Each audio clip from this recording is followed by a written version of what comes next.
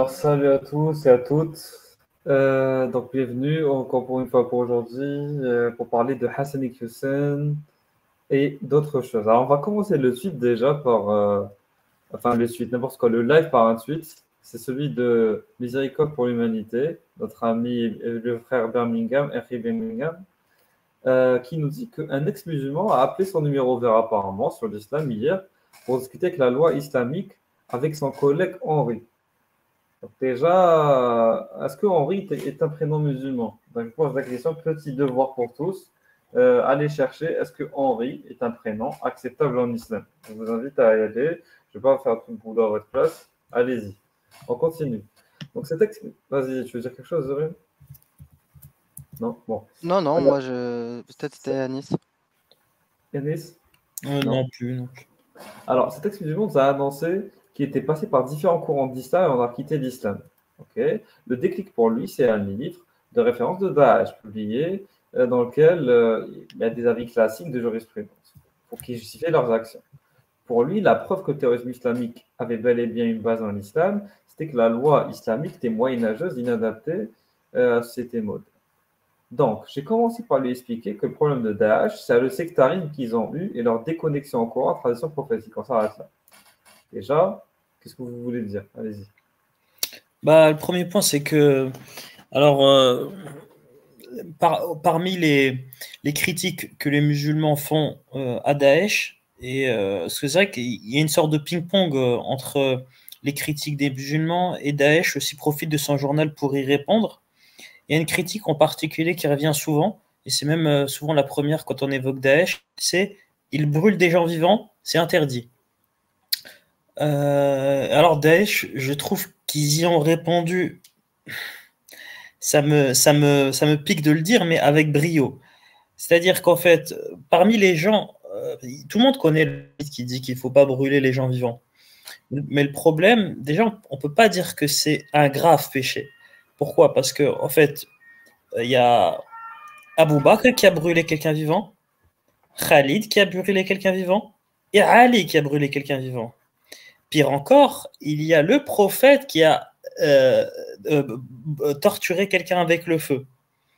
Donc, les, plus grandes figures islamiques ont tous euh, soit torturé avec le feu. Parce qu'il y a un hadith qui dit voilà, normalement, il faut pas brûler. Il n'y a que Dieu qui peut torturer avec le feu. Bon, soit. Alors, Daesh, comment ils répondent à cet argument? Ils disent tout simplement nous, nous utilisons la loi du talion. Et, euh, et c'est validé par euh, le site IslamQA qui, qui, euh, qui justifie justement que, ses compagnons, ils, ont fait une fatwa. donc c'est une fatwa. IslamQA, c'est l'un des plus gros sites de questions-réponses qui justifie le, le, fait que des compagnons aient brûlé par le feu. par par le talion. Je ne sais pas si vous connaissez, il y a une histoire connue où, euh, où euh, le, prophète aurait euh, crevé les yeux d'un mec. et, certains disent, certains, dans, une version du hadith, qu'il aurait fait ça par le talion. Donc, justement, Daesh s'est défendu d'avoir brûlé, c'était un, pilote jordanien, par le feu, tout simplement parce que fait, le mec balançait des bombes. Et ils sont allés jusqu'à lui jeter des briques dessus pour simuler un bombardement, en fait. Voilà. Ok. Alors, euh, donc, mais moi, ce que. après, après, à Bouijra, ce qui est sûr, c'est que dire qu'ils sont en déconnexion avec le Coran et la tradition prophétique, bah, ce que euh, euh, Miséricorde il est en train de dire, c'est que les avis classiques, hein, ils sont en déconnexion avec le Coran et la tradition prophétique, tout simplement. Exactement. Parce que ils n'ont pas inventé l'eau chaude. Ils n'ont pas inventé l'eau chaude. Euh, les mecs, ils ont repris, comme il dit, les avis classiques. Ils ont ouvert les livres de jurisprudence. Et ils ont appliqué ce qu'il y avait dedans. Moi, qu'est-ce que tu veux que je te dise? Mais après, de là à dire qu'ils sont en déconnexion totale avec le Coran et la tradition prophétique, ça, c'est faux, par contre. Exactement, bien sûr. Mais moi, ce que, moi alors, moi, je vais rebondir sur le mot sectaire, ça a vraiment marqué la notion de sectaire euh, qu'il emploie. En quoi le sectarisme euh, est, on va dire, quelque chose, une notion qui serait étrangère à l'islam. L'islam est sectaire. Le, mot sectarisme dans le Larousse veut dire quoi? Très simplement, parce que là, je l'ai devant moi. attitude intransigeante de partisan, euh, voilà, euh, voilà, de, de quelqu'un qui impose son opinion et se ferme à celle d'autrui. Ben, ça, c'est littéralement la position des musulmans dans le Coran.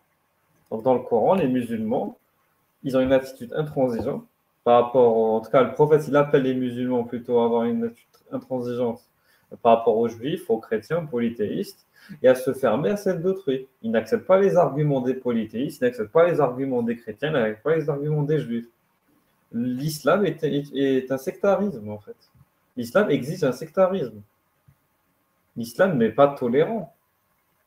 En quoi l'islam est tolérant?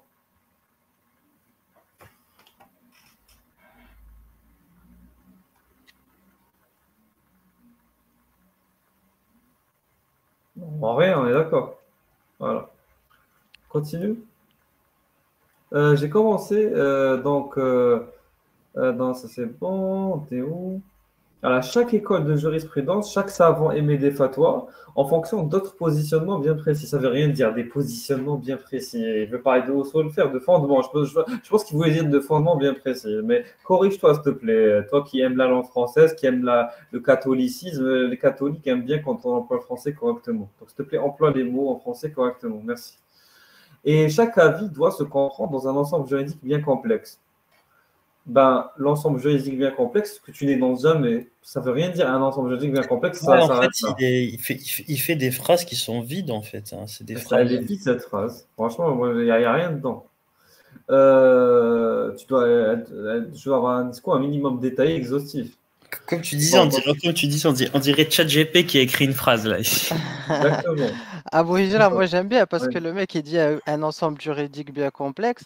Après, quand tu prends le Mortassar de l'imam Khali, il te dit c'est pour euh, les enfants. C'est un ouvrage pour les enfants.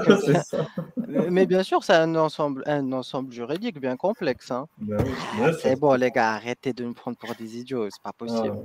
Ah, on continue. Alors, euh, il nous dit que ainsi, les groupes terroristes islamiques piochent hasardement dans le corpus juridique. Preuve, mon nom veut des preuves. Mon nom veut des preuves, un exemple, ils piochent hasardement dans le corpus juridique pour justifier à posteriori leur action. Et ça, c'est faux. C'est pas vrai. Daesh, ISIS, l'État islamique, d'abord émettent les fatwas et ensuite euh, passent à l'action. C'est pas ils passent à l'action et ensuite ils mettent les fatwas, ça n'aura aucun sens d'ailleurs de faire ça, euh, littéralement. Bah, au moins, au moins, il avoue à, demi-mot que, qu'il s'inspire bien de la théologie islamique. Bah oui.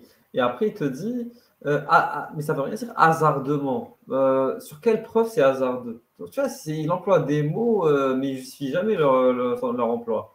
Ensuite, leur action macabre. Pourquoi est-ce que les actions de Daesh seraient plus macabres que les actions des compagnons, des tabi'in, du prophète Genre, sur quel jugement, enfin, sur quelle base, sur quel code moral, sur quelle euh, vision du monde tu te bases pour qualifier les actions de Daesh de macabres?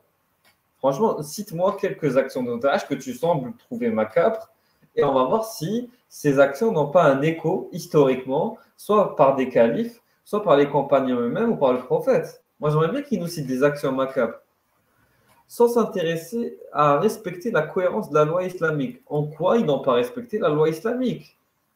Euh, Vraiment, ils citent aucun exemple.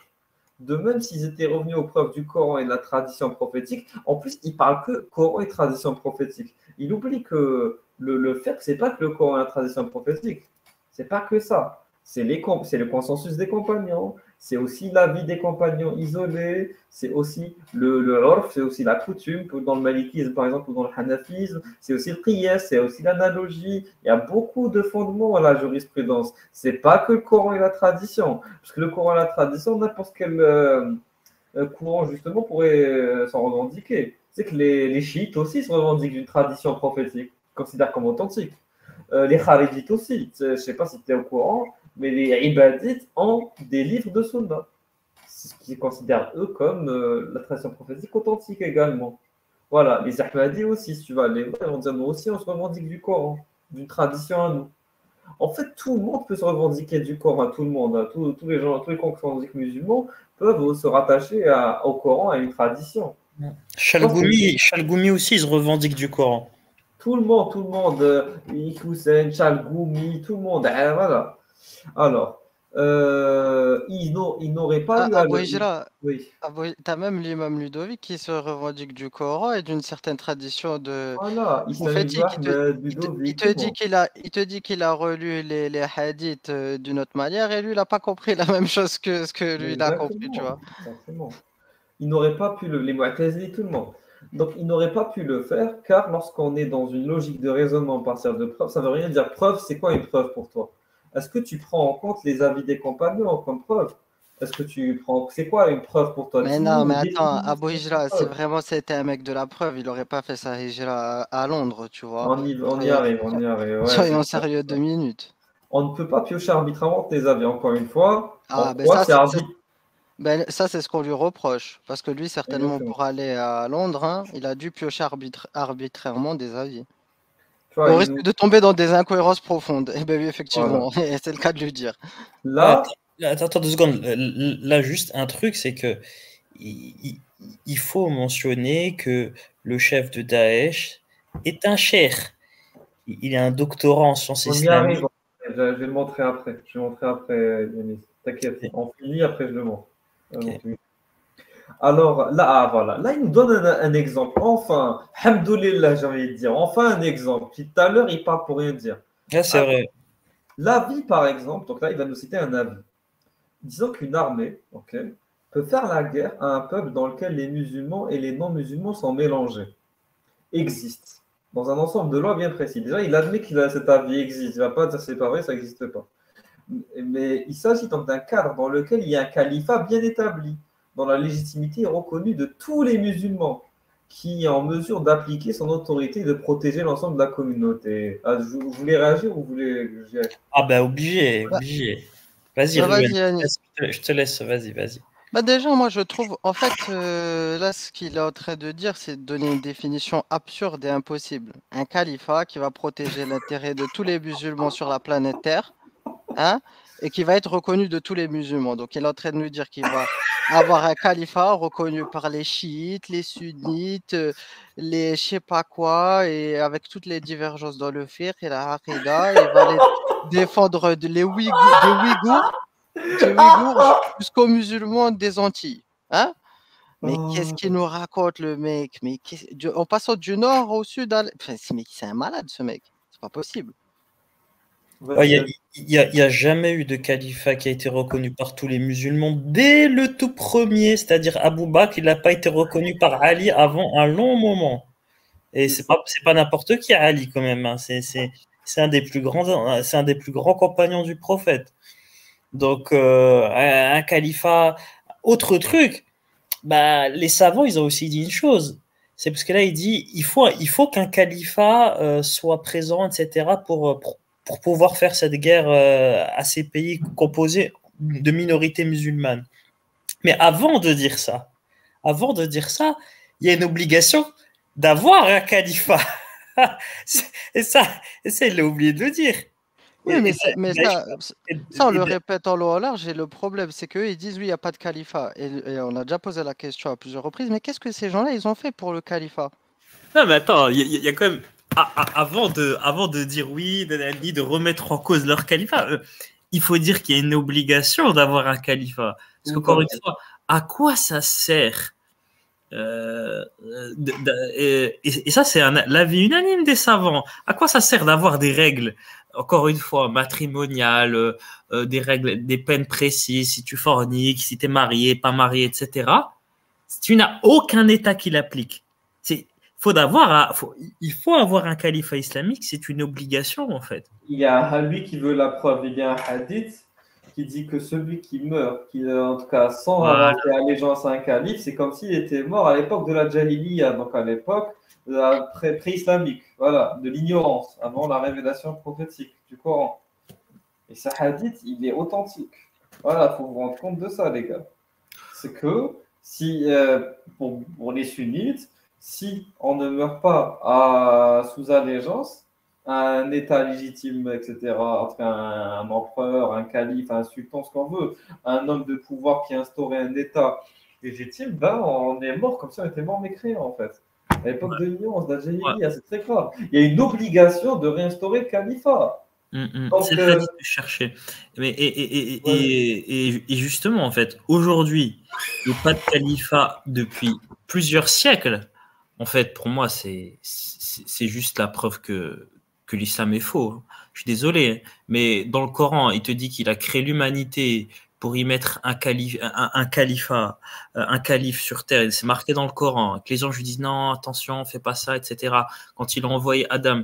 Donc la raison d'existence de l'humanité, c'est d'avoir un califat. Et ça fait des siècles qu'il n'y a aucun califat qui existe, parce que depuis, depuis la fin de l'Empire ottoman, et encore, si on peut considérer ça comme euh, voilà un, un, vrai califat islamique, sans, sans défaut, mais bon, voilà, on sait qu'il a des défauts. Mais allez, on va dire ça. Ça fait des siècles qu'il n'y a plus rien. C'est-à-dire que ça fait des siècles qu'il n'y a aucun califat islamique. Mais ah, alors, on va dire ça. Alors, alors euh, ça, c'est un. Attends, juste voir la, la, source. Voilà, donc c'est dans Sahih Muslim. Donc, euh, enfin, en fonction de l'édition, ça dépend, mais environ page 898 euh, dans cette édition-là. Voilà. Ici, donc, je, juste, je clique Kitab al-Imara. Voilà. Donc, c'est donc Kitab al-Imarat. Euh, donc, euh, c'est ici. Donc, c'est bon, là, j'ai pas le bab, mais c'est juste avant bab hukm min amr al-muslimin. Voilà. Donc, pour ceux qui comprennent l'arabe. Sinon, ne t'inquiète pas, on va faire la traduction. Il n'y a pas de souci, les gars. Ah, il y a même le zoom, c'est génial. Donc, il y a euh, donc dans ce hadith-là, voilà, donc c'est Maître Rasulullah, donc c'est un hadith euh, qui a été rapporté euh, de Rasul par Ubaidullah ibn Mu'ad. Oui. Ouais, juste euh, j'en profite euh, pour dire, voilà, ça c'est du travail de pro, c'est pas du travail de mamar, hein, avec des trucs surlignés, dégueulasses, je sais pas quoi. Là, tu viens, on zoom. Il y a des trucs qui sont surlignés, mais on arrive à lire, on arrive à repérer, c'est magnifique. Franchement, Aldo, bon travail. Merci Aldo, merci frérot. Donc, حدثنا عبيد الله بن معاذ العنبري bon je vais pas dire toute la chaîne de transmission mais elle a l'air très complète et tout et donc ça dit qu'à l'époque de Yazid ibn Muawiyah donc il se posait la question de devoir le faire allégeance ou pas il y en a qui voulaient se révolter etc et là il y a un hadith qui est rapporté qui dit euh, donc يقول من خلع يد من طاعة لقي الله يوم القيامة لحجة له ومن مات وليس في عنقه بيعة لا بيعة donc une allégeance مات ميتة جاهلية donc c'est-à-dire que celui qui n'a pas fait bay'a qui n'a pas eu une allégeance à un calife légitime comme euh, Birmingham le dit hein, voilà bay'a euh, ben il est mort une mort de jahiliya une mort de, comme s'il était mort à l'époque de l'ignorance voilà donc c'est comme s'il était mort mécréant en fait mm. voilà à, qui il a, à, qui il a fait sa bay'a, le, le, Birmingham euh, Sheikh, là? À la reine d'Angleterre. Voilà. C'est elle son califat. Donc, euh, les gens qui sont partis à Daesh, d'un point de vue islamique, ils voulaient juste pas aller en enfer, tout simplement. Voilà. Maintenant, nous, on est mais islamiquement parlant, tu devrais les supporter. D'ailleurs, Abou, Ija, euh, dans la vidéo qu'on avait vue, il avait dit le jeune venez rejoindre la terre du Khilafa. Hein. Exactement. Mm. On, rappelle au cas où euh, cet enregistrement peut être pris hors de son contexte. On est contre Daesh, on est contre tout voilà. groupe extrémiste et terroriste. On les condamne absolument et, et on souhaite que, on, trace cette chaîne, on combat le djihadisme et le terrorisme, quel que soit euh, le mouvement, pas que islamique, quel que soit le bord, quel que soit le monde. Vous voulez rajouter quelque chose? Non. Oh, se désavoue de tout, de tout terrorisme, tout simplement. De toute action violente, euh, etc. Euh, donc, météo, hmm, voilà. Il s'agit d'un cadre dans lequel il n'arrête pas de parler de cadre, il définit jamais le cadre. il parle d'un cadre qui définit jamais, on ne sait pas de quoi il parle. Alors, il s'agit d'un cas dans lequel le monde est clairement divisé entre terres d'islam et terres non musulmanes, qui sont en guerre contre le monde musulman, de telle manière que les musulmans n'aient aucune excuse pour résider en terre d'islam. Ah, là, il a compris là Il a compris là, douille Bah oui, c'est comme ça que ça marche, frérot. Il y a euh, l'islam et Dar le en fait. C'est ça. Et tu n'as pas le droit de résider Dar le kufr, en fait. Euh, ce sont vraiment dérogations, exceptions euh, faites. Et tu n'es pas dans l'ordre de l'exception en Birmingham. Je suis désolé.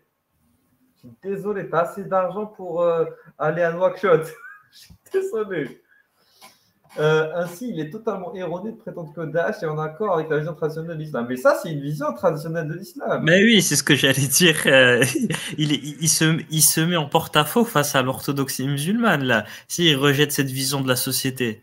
Et c'est même c'est une vision inspirée du Coran, quand même. Bah oui. Et c'est pour cela que. Ah, voilà, ça, c'est un argument vraiment fallacieux. Ainsi, il est totalement de prétendre que Daesh est en accord avec la vision traditionnelle. Et c'est pour cela que tous les mouvements au sein du sunnisme ont unanimement rejeté et condamné ce groupe. Bah non, pas ah, du tout. Euh, par, exemple, euh, déjà tous les groupes, euh, non pas forcément, pas tous les chers. Si tu prends un mec comme Kardawi, c'est vrai qu'il a émis des critiques, mais il a émis des critiques sur quoi? Sur peut-être la précipitation. Hein?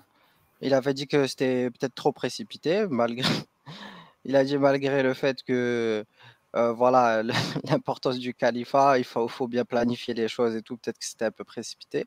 Et deuxième critique que j'avais vue, c'était le fait, euh, peut-être comme il a dit, l'histoire de l'élection. Mais ça, de toute façon, comme on a dit, euh, Baghdadi il a reçu l'allégeance de groupe. Il y a des gens qui l'ont reconnu comme calife. tout simplement, le gars, il dit qu'il est de la famille du prophète. Après, il prend le nom Abou Bakr et tout. Ça, on va savoir est-ce que c'est vrai, est-ce que c'est faux. Dans tous les cas, dire que le gars il pioche hasardement alors que le gars il a un doctorat en sciences islamiques, franchement, c'est ridicule. Après, il y, a autre chose à dire, c'est qu'il a dit que euh, la tradition islamique, euh, l'ensemble, attends, je regarde la phrase exacte, unanimement rejeté et condamné ce groupe. Alors, il y a quand même euh, Al-Azhar qui, à qui on a demandé de, de, condamner le, de, qui est intervenu dans le débat est-ce que Daesh sont musulmans ou pas? Et ils ont, ils ont fait une déclaration solennelle qui ne pouvaient pas faire leur takfir. Et, nous, c'est ce dont on parle. Nous, on s'en fout qu'ils aient condamné tel acte ou tel acte, parce que tous les groupes entre eux se condamnent vis-à-vis d'un acte donné, d'une croyance donnée. Voilà. Par exemple, les ah oui, vont condamner les pour la croyance, euh, voilà, pour l'intercession. Mais est-ce qu'ils les rejettent ou pas? C'est ça qui nous intéresse. Est-ce qu'ils mais... ou pas? mais Abou Hijra, même, même de toute façon, le, les groupes djihadistes, ils reprochent euh, aux musulmans d'Europe, déjà, de de ne pas faire le djihad, de deux, de ne pas faire la hijra. Donc déjà, ça, ce sont des, des critiques euh, bon, légitimes du point de vue de l'orthodoxie, tu vois. Exactement. Et cette notion de rejeter, ça ne veut rien dire rejeter. Nous, ce qu'on veut savoir, c'est est-ce qu'ils ont été excommuniés ou non. Parce que condamner un groupe pour un acte, tous les groupes sunnites se condamnent entre eux pour des actes euh, donnés, soit mm. de, de, mécréance ou d'hypocrisie. Et rejeter, ça ne veut rien dire. Rejeter, ça peut être rejeter une, croyance euh, dans comment dire, un aspect de la croyance dans l'ensemble de, des branches de la foi. Par exemple, les Ash'arites, eux, ils vont condamner l'anthropomorphisme de certains Atari. Les Atari vont condamner, par exemple, euh, le jahmisme de certains Ash'arites. Voilà, ils vont condamner légalement au niveau de la croyance de certaines personnes ou de certains ou du courant ensemble, ensemble. Mais nous, ce qui nous intéresse, c'est est-ce que le mais il reste musulman quand il se considère comme musulman, comme le Smekadin, se souvient Voilà. Mais nous, ce qu'on veut savoir, c'est est-ce que Daesh n'est pas musulman? C'est ça qu'on veut savoir. Non, Daesh n'a pas été exclu de l'islam par les sunnites. C'est faux. Il reste toujours dans le giron de l'islam. T'en as peut-être certains qui leur ont fait euh, du takfir, mais il n'y a pas eu les savants de manière unanime qui ont exclu Daesh du sunnisme ou de l'islam dans son ensemble. C'est faux. Prouve-le nous sinon. On continue et on finit. Nous précisons également que la loi islamique contient parfois des règles permettant une certaine violence dans le cas d'un État musulman, légitime par une autorité légitime. Ça il répète dix mille fois légitime. Ça veut, ça veut strictement rien dire parce qu'il dit une certaine violence. Bah oui, on l'a vu dans le, dans le live de la dimitude. Merci. Mais non, merci. Mais ceci se fait toujours dans un contexte précis. Mais tout, mais tout se fait dans un contexte précis. Et alors, euh, en quoi le fait que ce soit face dans un contexte fait en sorte que ce ne soit pas, soit pas grave, que ce ne soit pas euh, condamnable, que ce ne soit pas immoral, que ce ne soit pas euh, incohérent?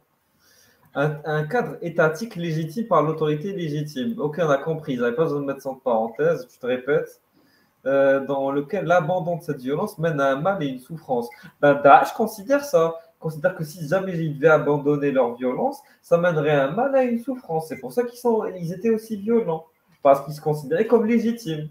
Ils voulaient instaurer un cadre étatique légitime. Daesh voulait tout ça, en fait, et a réussi à faire tout ça à leur niveau. Ils ont réussi à le faire. Je suis désolé. À leur niveau, ils s'organisaient de manière à ce que tout se fasse de façon légitime, conforme à la sunna et conforme au Coran. Je suis désolé. Que tu le saches ou que tu le saches pas, c'est un fait.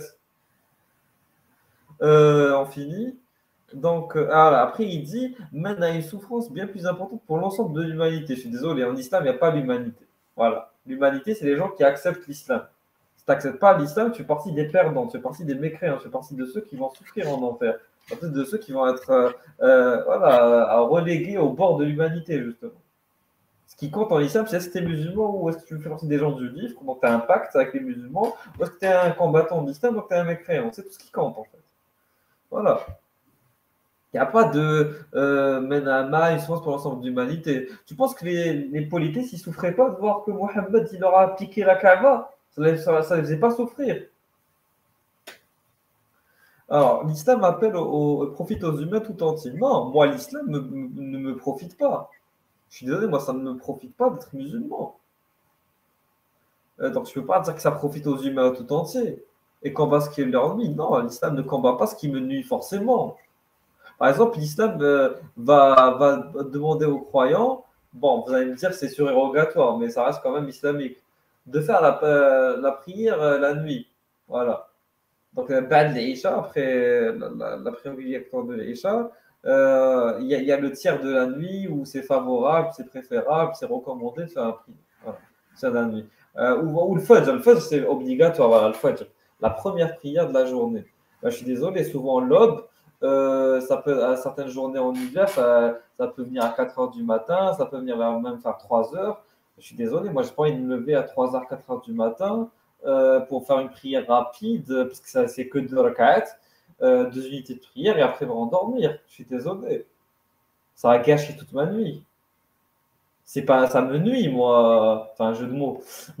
c'est nuisible pour moi, le, la, prière de d'Alpha. Voilà. Faut arrêter de croire que ça me profite pas du tout. Vous voulez réagir avant qu'on finisse? Parce que moi, je vais diffuser juste euh, un Boba comme Bardadé pour euh, euh, Vite fait, juste une petite phrase. bah là, il, il, part dans son délire un peu comme Bajrafil qui, qui, invente des hadiths, des, des faux hadiths en disant que euh, toute l'humanité, on, est tous frères en humanité. Et alors c'est très intéressant parce que tu, si, si, tu as vraiment l'énergie, il hein, faut avoir l'énergie hein, de regarder ces vidéos, je sais pas pourquoi il est passionné, mais vraiment à un niveau euh, incroyable euh, par le catholicisme, qui ne cesse de critiquer en disant que le, le clergé est devenu mou du genou, etc.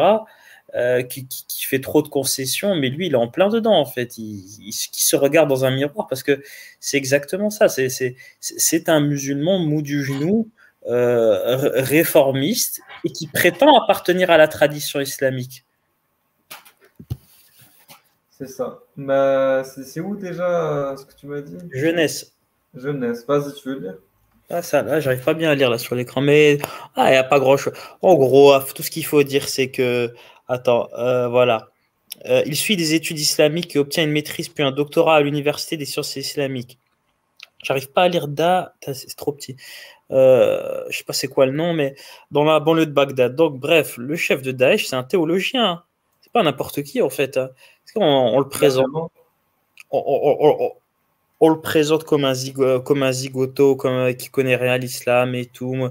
Mais c'est pas des mecs comme Miséricorde pour l'humanité qui, qui te parle de, fraternité au, niveau de l'humanité qui, qui va apprendre l'islam à ce mec en fait. Hein. Euh, lui, il connaît mieux les textes. D'ailleurs, lui, il les justifie par des preuves et pas, et pas par des longs messages fleuves où tu noies le poisson, où tu parles de, concepts. Il n'y a rien d'islamique, il n'y a pas de hadith, il n'y a pas de Coran, c'est juste cadre, légitime, blablabla, des, des, mots euh, qui n'ont pas vraiment de sens précis en soi.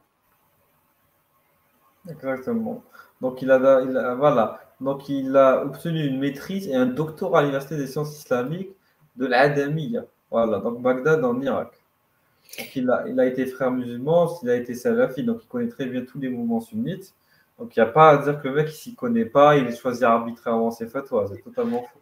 Moi, je, moi je, je, pense que, qu'il y a une chose quand même à dire que le reproche que je ferais à Daesh par rapport à la tradition islamique, c'est que je pense que la tradition islamique, elle est, tenez-vous bien, plus violente que Daesh. Que Daesh. Il y a un point que je vous, qui est sans irréfutable, qui est l'esclavage. Daesh, officiellement en tout cas, ils se sont interdits de mettre en esclavage autre que les yézidis, qu'ils considèrent comme des païens. Alors que dans, dans l'orthodoxie, tu peux non seulement mettre en esclavage les païens, tu peux mettre les chrétiens, les chrétiennes, et tu peux mettre les, les, les musulmanes. C'est-à-dire que même Daesh a été choqué de la violence de l'islam traditionnel. Ils ont dit non, non, on va pas, on va, on va pas les violer, celle-là, tu vois, on va pas, on va pas violer des musulmanes qui prient. On va pas, on va pas violer des chrétiennes. On va, on va, on va s'atteler qu'aux païennes. Et ironiquement, dans la tradition islamique, c'est l'inverse. C'est-à-dire que euh, si tu regardes, euh, il y a divergence sur le fait que tu aies le droit d'avoir des rapports sexuels avec, même dans le cadre de l'esclavage, avec des païennes. Par contre, pour les, celles du livre et, les musulmanes, il n'y a pas de souci. Je parle bien d'esclavage sexuel, hein. je ne parle pas de mariage. Donc, eux, Daesh a fait l'inverse. Parce qu'eux-mêmes ont été choqués par la violence de l'islam. Même Daesh, ils sont disent putain, on va, va pas, on va, on va pas faire aussi fort que, que ce que nous disent les textes. C'est ça. Vas-y, là on y va, on va parler de Hassan Iqiyusen euh, qui, enfin, qui évoque Ibn Taymiyyah dans un Ils font un ijtihad en l'an 2013 à la lumière des données actuelles. Non, non, non, ils font même pas d'ijtihad. Ils vont, ils font un peu de fouilles archéologiques ouais, dans les livres de fatwa qui ont mille ans et ils te sortent une fatwa Cheikh al-Islam ibn Taymiyyah a dit qu'il est interdit de faire tarawih avant l'Aïcha. C'est contre ah, la sunna et l'exemple des salafs salih. Ouais, mais on s'en fout là en fait euh, de l'histoire du tarawih. Euh, ibn Taymiyyah a écrit bien pire en termes de fatwa. Qu'est-ce qu'il vient pas bah, Vas-y, viens, on fait du cherry picking. Allez, comme Mohamed Bajrafil, ton pote là, il l'a dit. Tu ouvres Majma Fatawa, première fatwa, celui qui fait l'ania haute voix, on lui fait le rappel, sinon plata au plomo. Ah, moi, qu'est-ce que tu veux hey, Moi, qu'est-ce que tu veux que je blasphème, mec. Euh, le premier chapitre, premier alinéa, celui qui insulte le prophète, il en doit tuer. Voilà, première page. donc, donc, euh, donc euh, c'est pas une question de. Parce que là, en fait, encore une fois, s'il y, y, a un cadre précis, lui, il te dit voilà, dans le cadre de l'islam, c'est ça, ça, ça qu'il faut faire. Et d'ailleurs, on l'a rappelé, hein, quand il a écrit Salim Masloul, il, il a écrit ce livre parce qu'il y avait un qadi justement qui voulait pas appliquer la peine. Donc lui, il venait rappeler le cadre justement. Donc c'est pas du cherry picking qu'on fait justement. On est là pour vous rappeler le cadre, les frères. C'est ça que vous arrivez à comprendre. Le cadre légitime, hein, n'est-ce pas, Birmingham? Légitime. Voilà, sur la tradition du prophète et du Coran. On continue. Voilà. C'est tout l'effort qui a été fait. Hein. on fouille, on creuse, on va chercher. Et entre nous, c'est même plus un effort. Aujourd'hui, euh, il suffit que tu aies euh, une Maktaba Shamila, c'est ça? Hein? Un petit CD, une clé USB. Et en deux secondes, tu fais un clic et tu as la fatwa d'Ibn Taymiyyah. Vous vous rendez compte la paresse intellectuelle? Ah, Boujra. Encore avant les livres, bah, il, il, fallait l'avoir. Là, il est... franchement, la vidéo, ça se voit qu'elle date un peu, parce qu'aujourd'hui, chat GPT, tu lui dis, vas-y, sors-moi, je ouais, les fatwas controversées d'Ibn il va te dire, voilà, dans le majwa, dans le truc, voilà le chapitre, et désolé, hein, ça va trop vite. Hein. En 10 ans, comment il est périmé, Miskid? Ah là là. Il fallait feuilleter, surtout quand il n'y avait pas de lexique. Non, non, aujourd'hui, un petit clic, et le mec, il te sort quoi? Il te sort l'avis de quelqu'un d'extraordinaire qui s'appelle Ibn Taymiyyah et il s'arrête à quoi? Ah. À son avis qui a été dit à une époque dans des conflits. Il y, a deux choses à dire. Déjà, de une, il dit qu'il n'y avait pas de lexique à l'époque. C'est-à-dire que tu étais obligé de taper tous les textes de Taré avant de trouver ce que tu avais besoin de trouver. T'imagines? Tu vas te lire euh, euh, tout par exemple, ah, Salim Masloul, tu vas arriver dans un point précis, tu vas taper tout le début avant d'arriver à la question précise. Ouais, pourquoi pas? Et après, il te dit, c'est quelqu'un d'extraordinaire. Alors là, ça, franchement, un savant condamné par 300 savants de son époque, par les quatre écoles juridiques, qui a passé la plupart de sa vie en prison. Euh, puceau. Eh, je sais pas, quelqu'un d'extraordinaire, je sais pas, mec, c'est pas possible. puceau. Non, quand on dit puceau, c'est même pas une insulte, c'est juste un fait. Il est mort euh, célibataire, il s'est jamais marié de sa vie. Voilà. Mais ça, c'est le, le, grand problème, d'ailleurs, qu'a souligné Pajrafil euh, des imams de France. C'est-à-dire qu'ils le mettent sur un piédestal, un héritage islamique, en disant ce sont des montagnes, euh, alors que dans le fond, il est contexte, il les conteste dans la pratique, mais sans jamais les rejeter ni les critiquer. Ils disent ce sont des pontes. L'imam Malik, c'est un ponte. Euh, Ibn Taymiyyah, c'est un ponte. Les, quatre imams, c'est des monstres. Un tel, c'est un monstre. Mais tu dis, mais attends, mais pourquoi tous ces, tous ces monstres que tu considères comme des, des big boss, s'il serait aujourd'hui là, il, il, validerait Daesh. Et d'ailleurs, c'est ce qu'a dit Bajrafil. Il disait que le problème, c'est que maintenant, avec Internet, le problème, c'est que le gars à qui tu auras répété toute la journée que, que à qui tu auras mis tous ces gens sur un piédestal, le jour où il va aller sur Internet, il va voir ce que ces gens disent, il va retourner voir l'imam et va lui dire Bah alors, la hijra, le djihad, nanani, et ben le mec n'aura plus rien à dire. Parce qu'il, dans son, dans son processeur, il est incapable de critiquer ces gens-là, comme lui d'ailleurs. Il a un discours réformiste, mais il te dit Ibn c'est une montagne de sagesse, etc. C'est vraiment une, schizophrénie. salut les ah Salut les amis. Salut. Euh, je, vais, vous écouter davantage pour voir de quelle euh, vidéo vous parlez de EQSEN, mais je, vais juste faire une, euh, une, introduction sur EQSEN quand même, parce que ce que vous avez mis hier comme vidéo, ça m'a mis la rage. Hein. Ah oui. Quand il a parlé de Mila, surtout, là, mon cerveau, il, ça fait comme la cocotte minute, là. C'est pas possible. Donc, là, on en parlera la semaine prochaine. D'ailleurs, je pense que c'est dimanche prochain hein, que je ferai le soir euh, un live, là, euh, de ce passage. Donc, je vais pas parler de Mila, de ce qu'il a dit sur Mila. Mais ce mec-là, là, vous le critiquez, faites gaffe parce qu'il peut faire un procès. Alors, pas depuis le Maroc, mais il va revenir en France dans pas longtemps. Parce que vu les procès qu'il a ah, lui-même avec ses logements de marchands de sommeil, ce trou du cul là, qu'on voit à l'image, là, ce trou du cul. En fait, ce raciste, hein, parce que dans votre live, euh, il, a dit bougnoul. Il a dit bougnoul. Hein, il a dit bougnoul. Il a dit bougnoul. Et, et il volait. Il, il, il entend des... avec nous. enfin, attends, euh, euh, euh, Bébert, franchement, bon, on se souhaite pas un procès, mais ce serait risqué de sa part de d'aller voir un magistrat et que le gars il vient et dit voilà, il y a des bougnoules en France, euh, il te parle de je sais pas quoi, il te dit des... il, a, il, a, un discours un peu sombre, tu vois. Donc moi, moi franchement, non mais il faut voilà, pas Hassan, c'est c'est un mec malin, tu vois. Je je sais pas. Ah, il est pas si malin.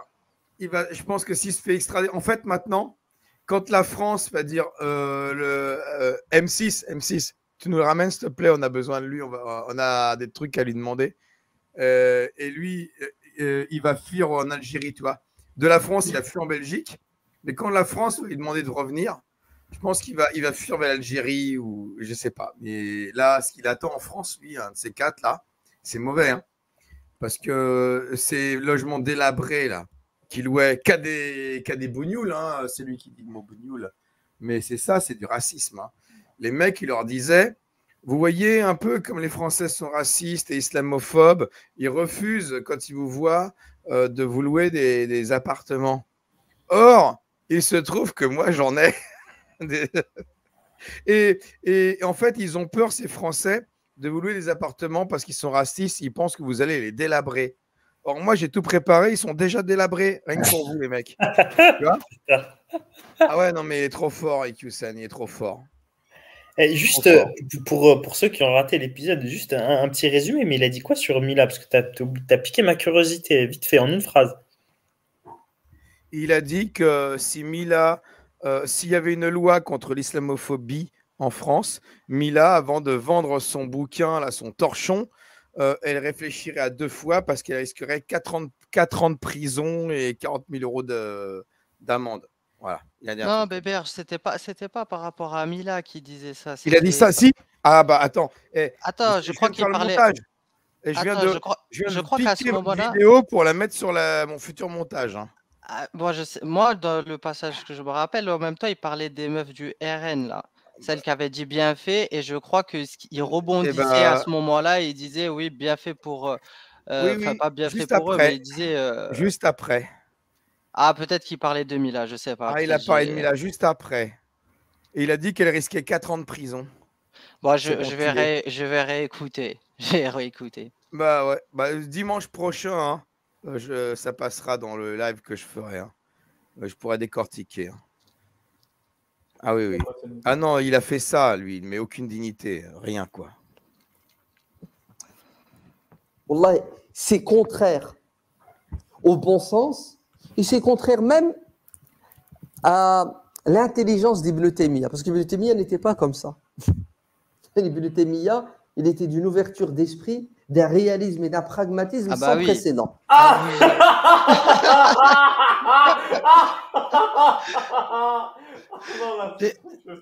L'exagération, tu vous, mais vous, êtes cynique, hein, vous êtes mesquin, parce qu'Ibn Taymiyyah, quand même, c'est l'ouverture d'esprit, je suis désolé. Hein. c'est la tolérance.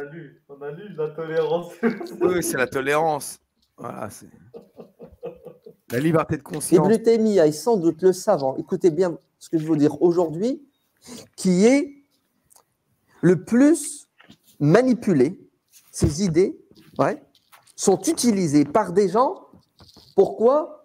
Pour véhiculer des idéologies contraires à ce qu'Ibn Taymiyyah pense et dit, mais surtout contraire à notre réalité. Je vous donne un exemple tout simple. Ibn Taymiyyah, ils ont compilé ses fatwas, ses réponses. Attends, attends. Mais dis pas que c'est contraire à l'islam. Ah. C'était, c'était Voltaire, Ibn Taymiyyah, tu sais. il, sort et dans votre vidéo d'hier, lui-même, là, il a sorti la phrase de Voltaire.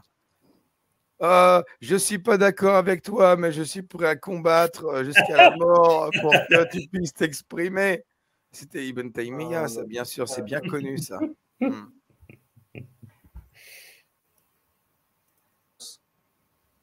37 hmm. volumes, vous entendez? Taymiyyah, il avait Pentium 4 dans le cerveau. Il écrivait la nuit les, les, copieurs, hein, ceux qui devaient faire plusieurs copies. Vous savez, il mettait une semaine pour copier ce qu'il a écrit la nuit, pour deux raisons. Il écrivait très vite et il écrivait très mal. Ah oui, il ne levait jamais sa plume.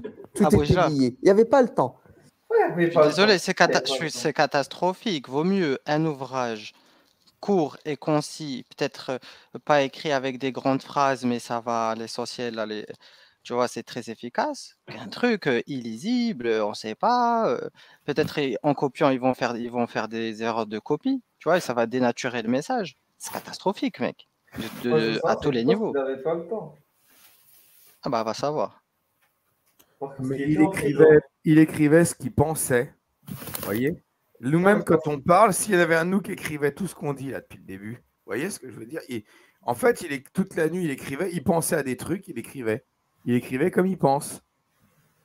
Bon, après, il euh, fallait pas qu'il fasse des cauchemars. Il a fait quelques cauchemars. Euh, on les a lus, nous, d'ailleurs, hein, les cauchemars. Tu vois? Mais ouais, non, mais c'est parce que surtout, il passait tout son temps en prison, en fait. Donc, euh, c'est pour ça qu'il était comme ça. C'est vrai qu'il n'avait pas le temps, peut-être, je sais pas. Hein. C'est bizarre quand même de ne pas avoir le temps d'écrire. Euh, euh, je sais pas, il a, la journée, il fait quoi? Bon, et pourquoi il écrit aussi vite, que ça, tellement comme tu as dit, ça devient illisible? Et il écrit que. Et prend ton temps, hein, c'est bon. J'apprends pourquoi est-ce qu'il était aussi pressé. Il y avait une pile de parchemins, de feuilles l'encre, les plumes, et il écrivait et jetait. Il écrivait sans s'arrêter. Bah, vous savez, ces fatawa, quand vous les prenez, elles parlent de tout, dans tous les domaines de la vie. C'est normal, il est consulté. Il s'est jamais marié, mais il se permet de donner des avis sur le mariage. C'est n'importe quoi, ça, qui se prend? Mais, mais le mec, il n'a jamais travaillé peut-être de sa vie, euh, il donne ses, ses, avis sur le travail. En fait, c'est ça le problème. Pourquoi est-ce qu'il permet de donner son avis sur tout, alors peut-être qu'il n'a pas vécu ce que le commun des mortels ont vécu Voilà, ça le problème en fait. Il n'a jamais eu d'enfant, il s'est jamais marié. Euh, est-ce qu'il a, a déjà eu un travail honnête dans sa vie, à part faire le connard et faire chier les gens avec la religion? Vraiment, c'est catastrophique. Ben, moi, je me demande qui le finançait quand même, parce que le mec, il a des scripts, il travaille pas, il passe son temps à écrire euh, des brouillons parce qu'il sait qu'il y a des scripts qui vont se casser la tête à réécrire correctement. Euh, il va en prison, il continue à être recopié, etc. Mais qui le finance, tu vois? Je suis curieux de savoir comment il était financé. Parce que tu vois, c'est, tu peux pas vivre juste comme ça d'amour et d'eau fraîche. Exactement. La zakat, la zakat. Tu vois, les allocs. Il y, a forcément des gens qui le finançaient. Hein. Oui, bien sûr, c'est, sûr. Bizarrement, par une opération du Saint-Esprit, ou plutôt de l'esprit maléfique, une des fatwas d'Ibn Taymiyyah n'a pas été retenue.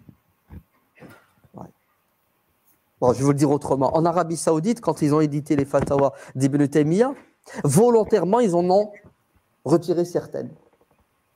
Oui, ça s'appelle de la malhonnêteté intellectuelle. Parmi les fatwas d'Ibn Taymiyyah qu'ils ont retirées, une fatwa qui s'appelle Qa'idatun fi qital al-kuffar au sujet de la guerre que le musulman doit mener aux non-musulmans. Abou Gira. Ça fait à peu près.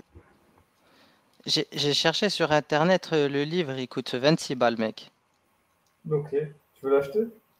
Non, pas spécialement, mec. Je vais pas, je, vais pas spécialement mettre mon fric là-dedans, donc. Euh, mais bon. Ah, tu dois euh, pouvoir le trouver sur un, sur, sur l'Ibgen ou des trucs comme ça. J'ai en arabe. J'ai cherché vite fait pour l'instant. Ouais, il est bien sûr qu'en arabe.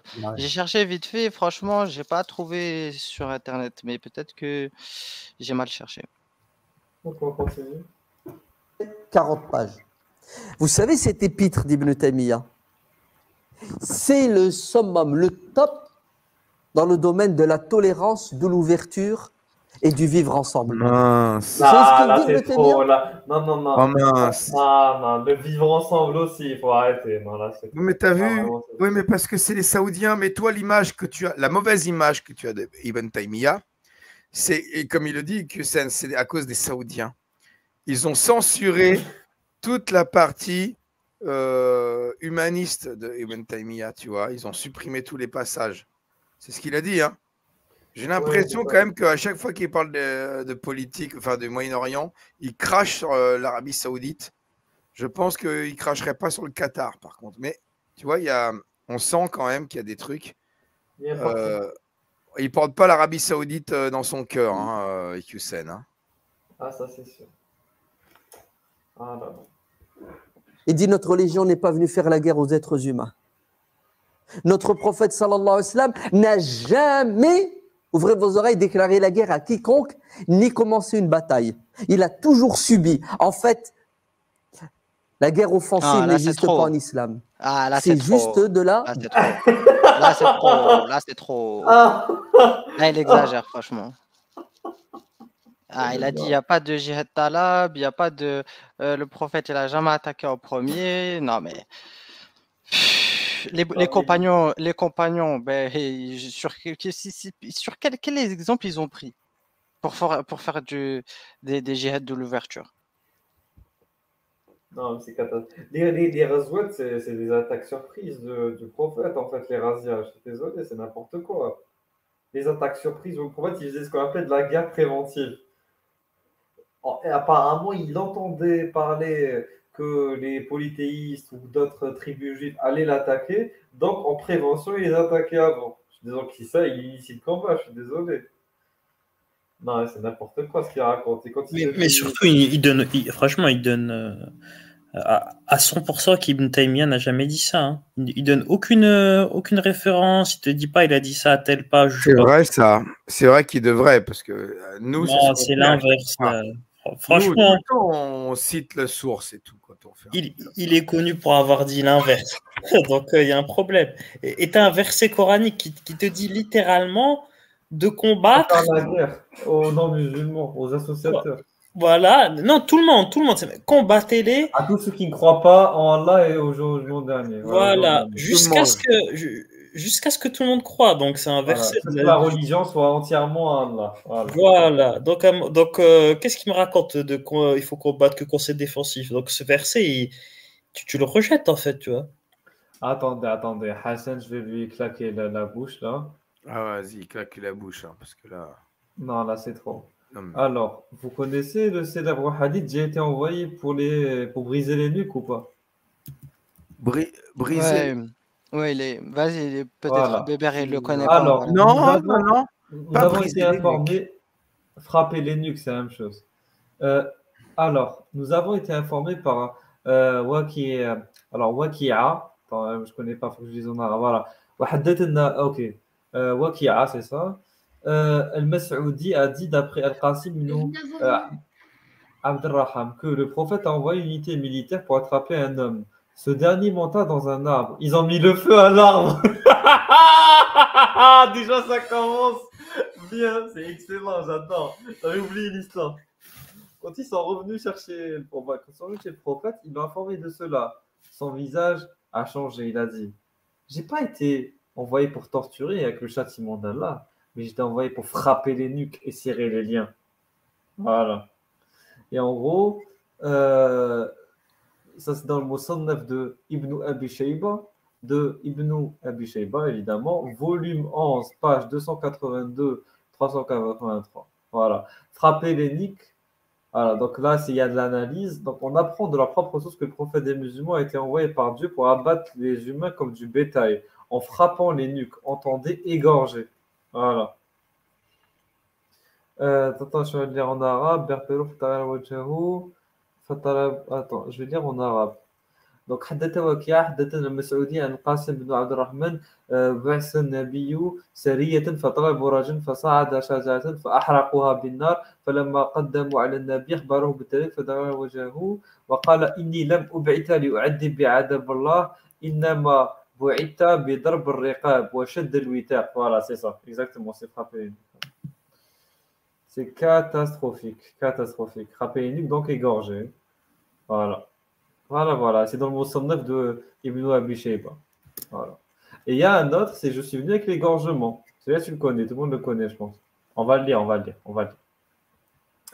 Vous m'entendez ou pas? Oui, on t'entend. ok, je pensais que ça allait bugger. Donc, j'ai demandé à Abdallah, Ibn Amr ibn al-As, quelle est la pire attaque que tu as vue de la tribu de Quraysh. Donc là, c'est des musulmans qui se demandent entre c'est comment est-ce que les ont attaqué le prophète? C'est quoi la pire attaque? Il lui répond, j'ai vu un jour leurs plus nobles se réunir et parler du prophète. Ils ont dit, nous n'avons jamais été autant patients avec un homme. Il a rabaissé nos dignitaires, il a insulté nos ancêtres, il a critiqué notre religion, il a créé la discorde entre nous, il a insulté nos divinités, il a continué. Et pendant qu'ils étaient en train de parler de lui, le prophète est arrivé et il a commencé à tourner autour de la Kaaba. Et à ce moment, ils lui ont dit quelque chose. Il continuait à marcher, mais son expression avait changé. Il passa devant eux une seconde, une seconde fois et ils ont encore dit quelque chose. Et au troisième passage, ils ont encore parlé. Il leur a répondu Entendez, tribu de Quraysh, je jure avec celui qui possède mon âme que je suis venu avec l'égorgement. Et le lendemain, que le prophète passait, les hommes de Quraysh l'ont encerclé et ont demandé de, confirmer ses propos. Ils étaient fâchés qu'ils critiquent leur divinité et leur religion. Et le prophète leur répondait Oui, c'est moi qui ai dit cela. Voilà. Et ça, c'est dans euh, si, Sahih Sira Nabawiya. Donc, c'est la biographie du prophète, mais authentique. Corrigée vraiment par Al-Bani. Genre, Al-Bani a fait en sorte que ce soit le plus authentique possible dans, dedans. Voilà on ne peut pas faire plus authentique que cette sira. Cette version de la biographie du prophète. Voilà. Abou il y, a la réponse qui demande un lien pour monter. Euh. Ouais, ouais, deux secondes. Donc voilà. Je, t'ai envoyé un lien sur Discord de la, conception du djihad d'Ibn Taymiyyah. après, si, vraiment il faut, il faut enfoncer des portes ouvertes euh, et, résumer rapidement, hein, si tu veux pas rentrer dans les détails, c'est que c'est qui confirme que que Ibn Taymiyyah, il, est, il considère que le djihad, c'est une obligation pour dominer toute la terre, tout simplement. Donc on ne sait pas où est-ce que Hassan Iqwissam il, il, a vu qu'en fait il parlait que de djihad défensif, euh, qu'il était pour l'amour, la paix, les fleurs, etc. Et que c'est le, le, savant le plus incompris de, l'histoire. On ne sait pas comment il a lu. Alors peut-être que Hassan Qusem, il a lu directement les brouillons d'Ibn Taymiyyah, qui étaient difficiles à lire, et il a deviné des phrases au pif. C'est la seule explication. Ou bien il ment. Alors là, je l'ai diffusé. Donc, euh, quelqu'un veut lire? Je suis fatigué de lire Donc, euh, je peux zoomer si vous voulez. Je peux zoomer un peu. Voilà. Quelqu'un veut lire? Descends un petit peu, parce que le, résumé, on s'en fout d'Imtemi. Voilà. Euh, euh, non, pas trop. encore un peu, un peu plus haut. voilà. Pour, Ibn Taymiyyah, le djihad contre les infidèles et les hypocrites est un devoir religieux, au même titre que la prière, l'aumône légale, le jeûne, le pèlerinage, le bon comportement. Dieu a donné les signes distinctifs à ceux qu'il aime, l'observance de la sunna et l'accomplissement du djihad. Lorsque le croyant délaisse ce qu'il est capable de faire dans le cadre du djihad, c'est un signe de faiblesse. Donc déjà là, on te dit le, djihad, et là il parle pas du djihad, euh, djihad de nefs, euh, il parle de la guerre là. Hein. Il parle du, du hein, il parle pas de. Tu, peux descendre un peu? Pour lui, accomplir le djihad est une obéissance à Dieu et à son prophète. Il explique que l'allégeance des compagnons au prophète consistait à obéir à celui-ci dans le combat et à ne pas fuir, même s'il devait en mourir. On l'aura compris, d'après lui, le djihad est intrinsèquement lié à l'amour de Dieu et à son prophète. Ce serait une erreur de considérer que cette position lui était propre. Vas-y, tu peux descendre, après le reste on s'en fout. Un petit peu. Euh, là, euh, euh, voilà. tu peux remonter légèrement? Voilà. Attends, je suis perdu. Euh, ah, ah, c'est bon. Arrêtez de bouger. J'ai fait ça, j'ai ça chier. Non, attends. C'est le geste comme acte d'adoration, c'est ça? Attends, on était là. Donc, on l'aura compris d'après lui devant du jihad. Même Luke, voilà, intéressant. Si, si. Vas-y, reprends. Intéressant. Et l'argument d'Ibn Taymiyyah sur les origines du djihad. Qui remontera à l'époque de Moïse après que celui-ci, sur l'ordre de Dieu, ait quitté l'Égypte en compagnie des fils d'Israël. Arrivant en Palestine, terre qu'il leur avait promise, Moïse et son peuple reçurent l'ordre de combattre les peuples ennemis de Dieu. Comme l'a fait remarquer Ibn Taymiyyah, Dieu relate dans les versets 43 de la Sourate 28 qu'après la révélation de la Torah, aucun châtiment divin ne fut envoyé contre un peuple non croyant. Nous, avons en effet donné le livre à Moïse après avoir fait périr les anciennes générations pour qu'il constitue une preuve illuminante pour les gens et un guide, une miséricorde afin qu'ils se souviennent. Euh, juste un, petit truc, bon, c'est pas tout. C'est intéressant hein, ce qu'il dit là. Je n'étais pas au courant que, effectivement, mais je réfléchis à un contre-argument, mais quand même, euh, dans, dans la bataille de Badr, il y avait des anges qui sont venus quand même pour combattre les polythéistes. Donc, euh, bon, c'est pas. allez, on va dire que c'est à moitié vrai hein, ce qu'il a dit. Sur, euh, et, d'ailleurs, il y a un hadith qui. les, les, mecs qui ont, qui, ont, qui ont jeté des cailloux sur, sur le prophète là, à Taïf, il y a un ange qui est venu et qui, aurait dit je, peux, je détruire cette ville. un ange de la montagne, apparemment. C'est un peu comme les esprits de la montagne, tu vois. Apparemment, il y a un ange de la montagne. Il a dit je, peux écraser cette ville entre les, deux, montagnes, tu vois. Donc, bon. Bref. Euh, la, prophétie de Moïse et la révélation de la Torah marquent donc un tournant majeur dans le traitement des peuples infidèles. Auparavant, ces derniers étaient anéantis par un châtiment divin, semblable à celui que le Coran et le Hadith mentionnent au sujet des Had des, oh, je connais pas moi les, les, prononciations en arabe, mais des Tamouds, des, des, peuples de ouais. et de Lot.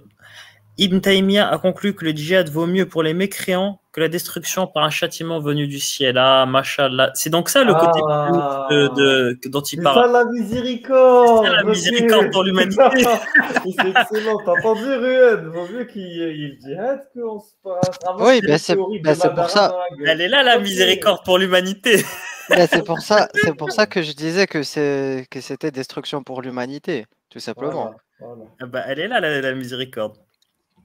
Le shir de Damas conçoit donc le djihad comme moyen de, euh, permettre d'améliorer la situation des infidèles, étant donné qu'avant que Dieu ne légifère et ordonne à Moïse de mener le djihad, ces derniers étaient systématiquement anéantis par un châtiment divin, dès lors qu'ils rejetaient les messages du prophète. Donc avant Dieu, il était, tu vois, il est, lui, Dieu, il faisait pas dans la dentelle, tu vois, il détruisait tout le monde. le djihad, c'est une miséricorde, parce qu'il vaut mieux qu'on se ramasse des coups d'épée dans la gorge qu'on se ramasse une météorite, une avalanche, une inondation, un tremblement de terre et je sais pas quoi encore. Mais, mais, c'est intéressant, hein. c'est quand même que la miséricorde, c'est en gros, la miséricorde de Dieu, c'est que Dieu ne te défonce pas lui-même. C'est ça, c'est ça. Dieu est méchant, ça veut, ça veut, dire que les ah. humains, les guerriers de Dieu, ils, sont, ils ont plus de miséricorde que Dieu, en fait. Ah. Parce qu'eux, ils vont pas tuer tout le monde, ils vont pas détruire tout le bah, monde. après, euh, Abou, euh, Yanis, euh, t'as pas forcément tort. Regarde, Daesh, ils ont eu une certaine miséricorde. Ils ont pas mis en esclavage tout le monde. Ils ont été tellement choqués par la tradition qu'ils ont été obligés de ralentir. Quelque part, dans le djihad, en fonction de qui le mène, tu peux avoir des dérogations. Alors qu'avec Allah, c'est du sans pitié. Il y a tout le monde qui se prend la punition dans la gueule. Dans le peuple de l'autre, il devait bien avoir des gens normaux, tu vois, des gens tranquilles, bah, par rapport aux. Mais pourtant, ils sont tous pris la punition dans la gueule. il y a, y a un hadith comme ça où, genre, euh, euh, il y a un mec qui c'était le seul à être euh, incroyant au milieu de, de, de Koufar. Et après, c'est pas, il a, Dieu lui a pas dit de commencer par lui parce que justement, il faisait pas la dawa, il n'avait pas essayé de changer euh, ah l'état de la communauté. Sans pitié, c'est-à-dire, tu vois, il y en avait un, vas-y, commence par lui, s'il te plaît. ah oui, il est terrible celui-là. Mais c'est vrai que là, du coup, euh, le, le, le, en fait, la miséricorde pour l'humanité, c'est que c'est d'empêcher Dieu d'agir, euh, voilà quoi. Et, ce qui est intéressant aussi, c'est que c'est encore complètement faux. Hein, l'histoire des, franchement, il a raconté n'importe pour l'histoire de, Moïse, parce que dans le Coran, maintenant, ça me revient, euh, le Coran menace les polythéistes de la Mecque de la destruction. Et la réaction des polythéistes, elle est même dans le Coran, c'est qu'ils disent, bah, t'as qu'à nous châtier, vas-y. Ce qu'il dit, au début, ils disent, euh, fais, descendre un ange, tu vois. Fais descendre une preuve, c'est normal, tu te prétends. Euh, messager de Dieu. Donc il leur dit fais descendre un ange. Et le Coran répond il dit si je vous fais descendre un, un, un, miracle et si vous avez cru ou pas, je vais vous devoir vous détruire. Alors les polythéistes ils disent bah détruis-nous. Et le, et le Coran répond et ça va vous faire rire je peux pas vous détruire parce que le prophète est parmi vous. c'est l'idée de dire, ah, attends, je vais tout détruire, moi. Genre, Dieu, il fait pas dans la dentelle. Il envoie un Kamehameha et il n'est pas capable d'éviter son prophète. il peut pas envoyer euh, une, voilà, une sorte de. Voilà, il peut pas faire de frappe chirurgicale. Voilà, il peut pas faire frappe chirurgicale. C'est soit il détruit tout, soit il détruit personne. C'est binaire. Voilà. C'est vraiment un dieu Ah, mais attends, en fait. non, Abou attends, c'est encore pire. Là, là, on est face à une question profonde. Est-ce que Allah il peut tout faire? Non, il peut pas détruire. Non, euh, il Allah peut... est impuissant. Allah oui, est, voilà, il, peut pas, il peut pas tout faire. Il peut pas tout faire. En revanche, il peut, il peut envoyer un Allahiste, euh, j'allais dire en prison, en enfer. Hein, même si ah, il était au, en enfer, il va le mettre au paradis. Ah, il peut même envoyer des prophètes en enfer et tout ça, il n'y a pas de souci. Mais en revanche, désaguer la Mecque ou Médine, envoyer une ogive ou je sais pas, ça il peut pas, tu vois, parce qu'il y a le prophète. Ah, il faudrait le retrouver, le verset, hein, le, verset où il dit qu'il peut pas envoyer le châtiment parce que le prophète est parmi vous. Catastrophique. Attends, on va lire la suite. on en rigole, mais, euh, mais c'est triste. Parce que tous ces putains de textes merdiques, ils servent à légitimer la mise à mort d'innocents. Ils servent à légitimer la destruction, ils servent à légitimer la, violence. Et ces connards, ils, te mettent des, espèces de, morale euh, du, moins pire. Tu une espèce de. Il vaut mieux se faire euh, démonter la gueule par le djihad que par la foudre euh, directe de Allah, parce que ce serait plus douloureux, ce serait plus expéditif. c'est triste, c'est triste que, que, ces putains de textes aujourd'hui, ils servent encore à des êtres humains sur Terre. Avec le djihad et en se soumettant à l'autorité des croyants, les infidèles, éviter ainsi l'anéantissement. En parallèle, le djihad offre aux croyants la possibilité de recevoir une grande récompense en combattant pour la religion du Dieu unique. Donc, selon lui, le djihad constitue donc pour les musulmans l'une des plus importantes adorations et moyens nécessaires à l'achèvement d'un système régi par les lois de Dieu. À l'instar d'autres ulama, il théorise le djihad à partir d'une interprétation rigoureuse des textes sacrés, à la grande différence qu'il y intègre des données de son époque. L'intérêt et l'attachement d'Ibn à disserter sur le djihad et adopter une attitude belliciste sont en grande partie le résultat du contexte dans lequel il a vécu, provoqué par le danger mongol auquel a été exposé de façon brutale dans son enfance et pratiquement durant toute sa vie. Mener le djihad dans ce début de XIVe siècle n'était pas facile, les menaces nombreuses et les ennemis de Dar islam puissants. Le monde musulman affaibli subissait les revers en Occident, tandis qu'il résistait difficilement au Proche-Orient. Voilà. Voilà, voilà. Donc là, on peut arrêter là pour le texte. Euh, on continue la vidéo Dirkusen vite fait. Ah, juste pour ceux qui veulent la référence euh, du, du, verset dont j'ai parlé, c'est Surat 8, verset 32, 33. Et quand ils dirent Oh Allah, si, si, cela est vérité de ta part, alors fais pleuvoir du ciel des pierres sur nous ou fais, -nous, fais venir sur nous un châtiment douloureux. Allah n'est point tel qu'il les châtie alors que tu es au milieu d'eux. Voilà. Voilà. Je vais vous dire là, euh, je suis content les gars. On est à 1900 abonnés. Allez, en route pour les 2000 abonnés. Abonnez-vous, likez, euh, partagez. Il faut atteindre les 2000 là avant la fin de la semaine. Ça ferait plaisir. Hein. Allez, on y va. Mmh. Surtout, eh, surtout que je suis sur vos talons là. Hein. Ah. ah, allez, likez euh, Regulus, likez le. Écoute, écoute, tant que tu dépasses pas sur les mains, je te respecte pas. ah, Défensif. Voilà, je vais résumer ce qu'Ibn Taymiyyah a dit. Oui. Bah, vous savez, ils l'ont omise volontairement. Pourquoi? Parce que ça ne va pas dans le sens de l'idéologie que l'on veut répandre aujourd'hui, que certains veulent répandre. Et on prend Ibn Taymiyyah et on lui colle ouais, des manières de penser et de voir qui ne sont pas les siennes. Quoique, pour dire la vérité, Ibn Taymiyyah a évolué. Ibn Taymiyyah, quand il a écrit à un moment donné, effectivement, dans certains domaines, il était très dur, mais à la fin de sa vie, il est revenu. Et c'est normal, c'est naturel. L'être humain, il change et il évolue parce que il grandit, il s'agit, il voit les choses d'autrement, et puis les circonstances dans lesquelles il vit changent. Attends, et de manière générale. Un s'il te plaît.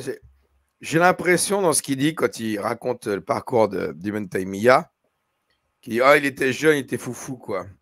Et puis après, euh, bien sûr, il, il s'est amélioré. On dirait que c'est le prof d'Ibn Taymiyyah qui est en train de parler de lui, quoi. Tu sais Ouais, mais euh, Bébert, ça ah, il a quand même il a une bonne progression sur le trimestre. Ah il a bien évolué. Au début, euh, ouais, c'était pas terrible. Hein. Franchement, le mec, euh, c'était pas terrible. Mais ah, quand même, après. Mais attends, mais il connaît, il connaît bien, c'est son pote, Ibn Taymiyyah. Il sait très bien comment. C'est bizarre, quand même.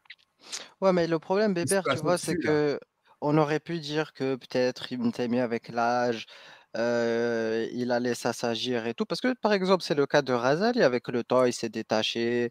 Voilà, il a regretté. Il a mené une vie d'ascète, tout ce que tu veux. Pourquoi pas mais le mec, il a fini en prison, non marié, pas d'enfant. moi, je sais pas qu'est-ce qu'il a connu comme expérience de vie. Tu vois? Je, je, je sais pas, c'est comme si tu me demandais à un mec là, qui a passé Redouane Faïd ou je sais pas, de, de, de qui, qui, qui, a, qui a euh, des doctorats en sciences islamiques, de, de, de, de te dire c'est quoi la vie. Bon, tu me diras, Redouane Faïd, lui, il a vécu, mais bon, bien, je sais pas, peut-être c'était un bandit, tu vois. Ouais, mais c'est pour ça, moi, c'est pas ça qui me choque, David Ibn Taymiyyah, mais c'est, c'est ce que Iqiyusen, un petit imam de, Roubaix ou je sais pas d'où, là, Drancy, peu importe, qui parle d'Ibn Taymiyyah, en disant bon, euh, ouais, ok, euh, le mec, c'était bon, un peu un au début, mais il a progressé quand même, hein, il peut mieux faire, euh, ça va, on lui, donne les encouragements, tu vois, conseil de classe. Il se place au-dessus de lui. C'est un problème quand même. Je ne sens pas le respect pour Ibn Taymiyyah dans, dans ce qu'il dit. Qu'un alaïste, normalement, il se devrait de le respecter. Non, je sais pas. C'est vrai. D'accord. Ah, on continue. C'est un homme d'une intelligence et d'une ouverture d'esprit sans précédent. Mais c'est surtout le plus grand rationaliste que nous avons. Quelqu'un qui respecte la raison, l'aql. D'ailleurs, il a écrit une encyclopédie en sept volumes. En sept volumes, hein, comme ça. Vous savez, c'est quoi? Point de contradiction entre la raison et la révélation. Il n'y a pas de contradiction entre la révélation et la raison. Ibn Taymiyyah dit, dans le tafsir de la Surat al-Hadid, écoutez bien, c'est ce qu'il dit? Il dit l'être humain ne peut être préservé de l'égarement, c'est-à-dire si tu veux ne pas t'égarer. Il te faut deux garde-fous. Et ces deux garde-fous, Allah nous les a révélés. C'est-à-dire, Dieu nous protège de l'égarement grâce à deux choses. La première, le, le Coran. La deuxième, la Sunna. Non, c'est faux. C'est pas ce qu'Ibn Taymiyyah a dit. C'est pas vrai. Eh oui. Le grand Ibn Taymiyyah a dit Allah nous protège grâce à deux choses. El wahy, la révélation. Mais la révélation, c'est quoi? C'est le Coran et la Sunna. D'accord? Et la deuxième chose, vous savez, c'est quoi? El-aql, la raison. Parce que la révélation, ouais, la révélation, si tu n'as pas la raison, elle ne sert à, rien. Ben oui, c'est un livre, il est là. Ouais, le Coran, il est là. Si tu n'as pas l'aql, salim, la bonne raison, la raison pure, l'intelligence, la clairvoyance de l'esprit, un nord, c'est comme ça que l'appelle Ibn Taymiyyah, que Dieu a mis en nous. Hein? Dieu a mis en nous une lumière, la lumière de l'intelligence, de la raison, plus la lumière de la révélation, les deux doivent. Tu vois, ça, ce qu'il est en train de dire, Ibn Taymiyyah, il a, il a copié ça de Averroès. Parce qu'Averroès, il a vécu avant lui d'un siècle et demi. Si vraiment il a dit ce qu'il a dit là, ce que je veux bien concevoir, il n'y a pas de souci. Cette vision-là de la raison ne doit pas s'opposer à la révélation, et que la raison, c'est quelque chose que Dieu nous a donné pour comprendre la révélation, c'est quelque chose qui, a été déjà énoncé par Averroès. Il a piqué euh, ce que les Mu'tazilites euh, ont déjà énoncé plusieurs siècles auparavant. C'est un plagiat. Quoi? Entrer en symbiose. Et qu'est-ce que ça donne? Ça donne quelque chose qui tient la route. la route. Quelque chose de sensé. Ouais. Voilà ce que dit Ibn Taymiyyah. Bien sûr. En 16 volumes. Hein. Tout ce qui va. En 16 volumes. bien, bien sûr. Et, attends, parce que vous, comme moi, on a lu les 200 pages de le glaive dégainé euh, à celui qui insulte le prophète. 200 pages, on va dire, c'est euh, un bout de volume. Hein. Mais sur ces 200 pages, tu as l'impression que le mec, on lui a dit copie à Ibn Taymiyyah, copie 2000 fois celui qui blasphème le, prophète, tuez-le. Et c'est que ça, sur 200 pages. Il n'y a pas une autre idée, il n'y a, pas, il a rien d'autre. Il n'y a que ça. Donc après, qu'il fasse 16 volumes, ce mec-là, qui fait des lignes et des lignes et des lignes où il répète tout le temps la même chose, ça ne m'étonne pas. Hein. C'est pas impressionnant. Position. Ah, ah, ah, attends deux secondes. Euh, moi, j'aimerais rappeler un hadith quand même, parce que sur, la raison, il y, a un hadith quand même qui est euh, un hadith d'un sahaba de Ali qui dit que si l'islam elle était basée euh, sur la réflexion, eh ben, quand on fait ces ablutions, on passerait l'eau pas sur le haut du pied, mais sur le bas du pied, sur ses chaussettes. C'est le hadith Sunan Abu Daoud 162 ceux qui veulent la référence, parce que ici on donne les références. Donc euh, Ali, il n'est pas d'accord euh, là-dessus, hein, sur que l'islam va avec la raison.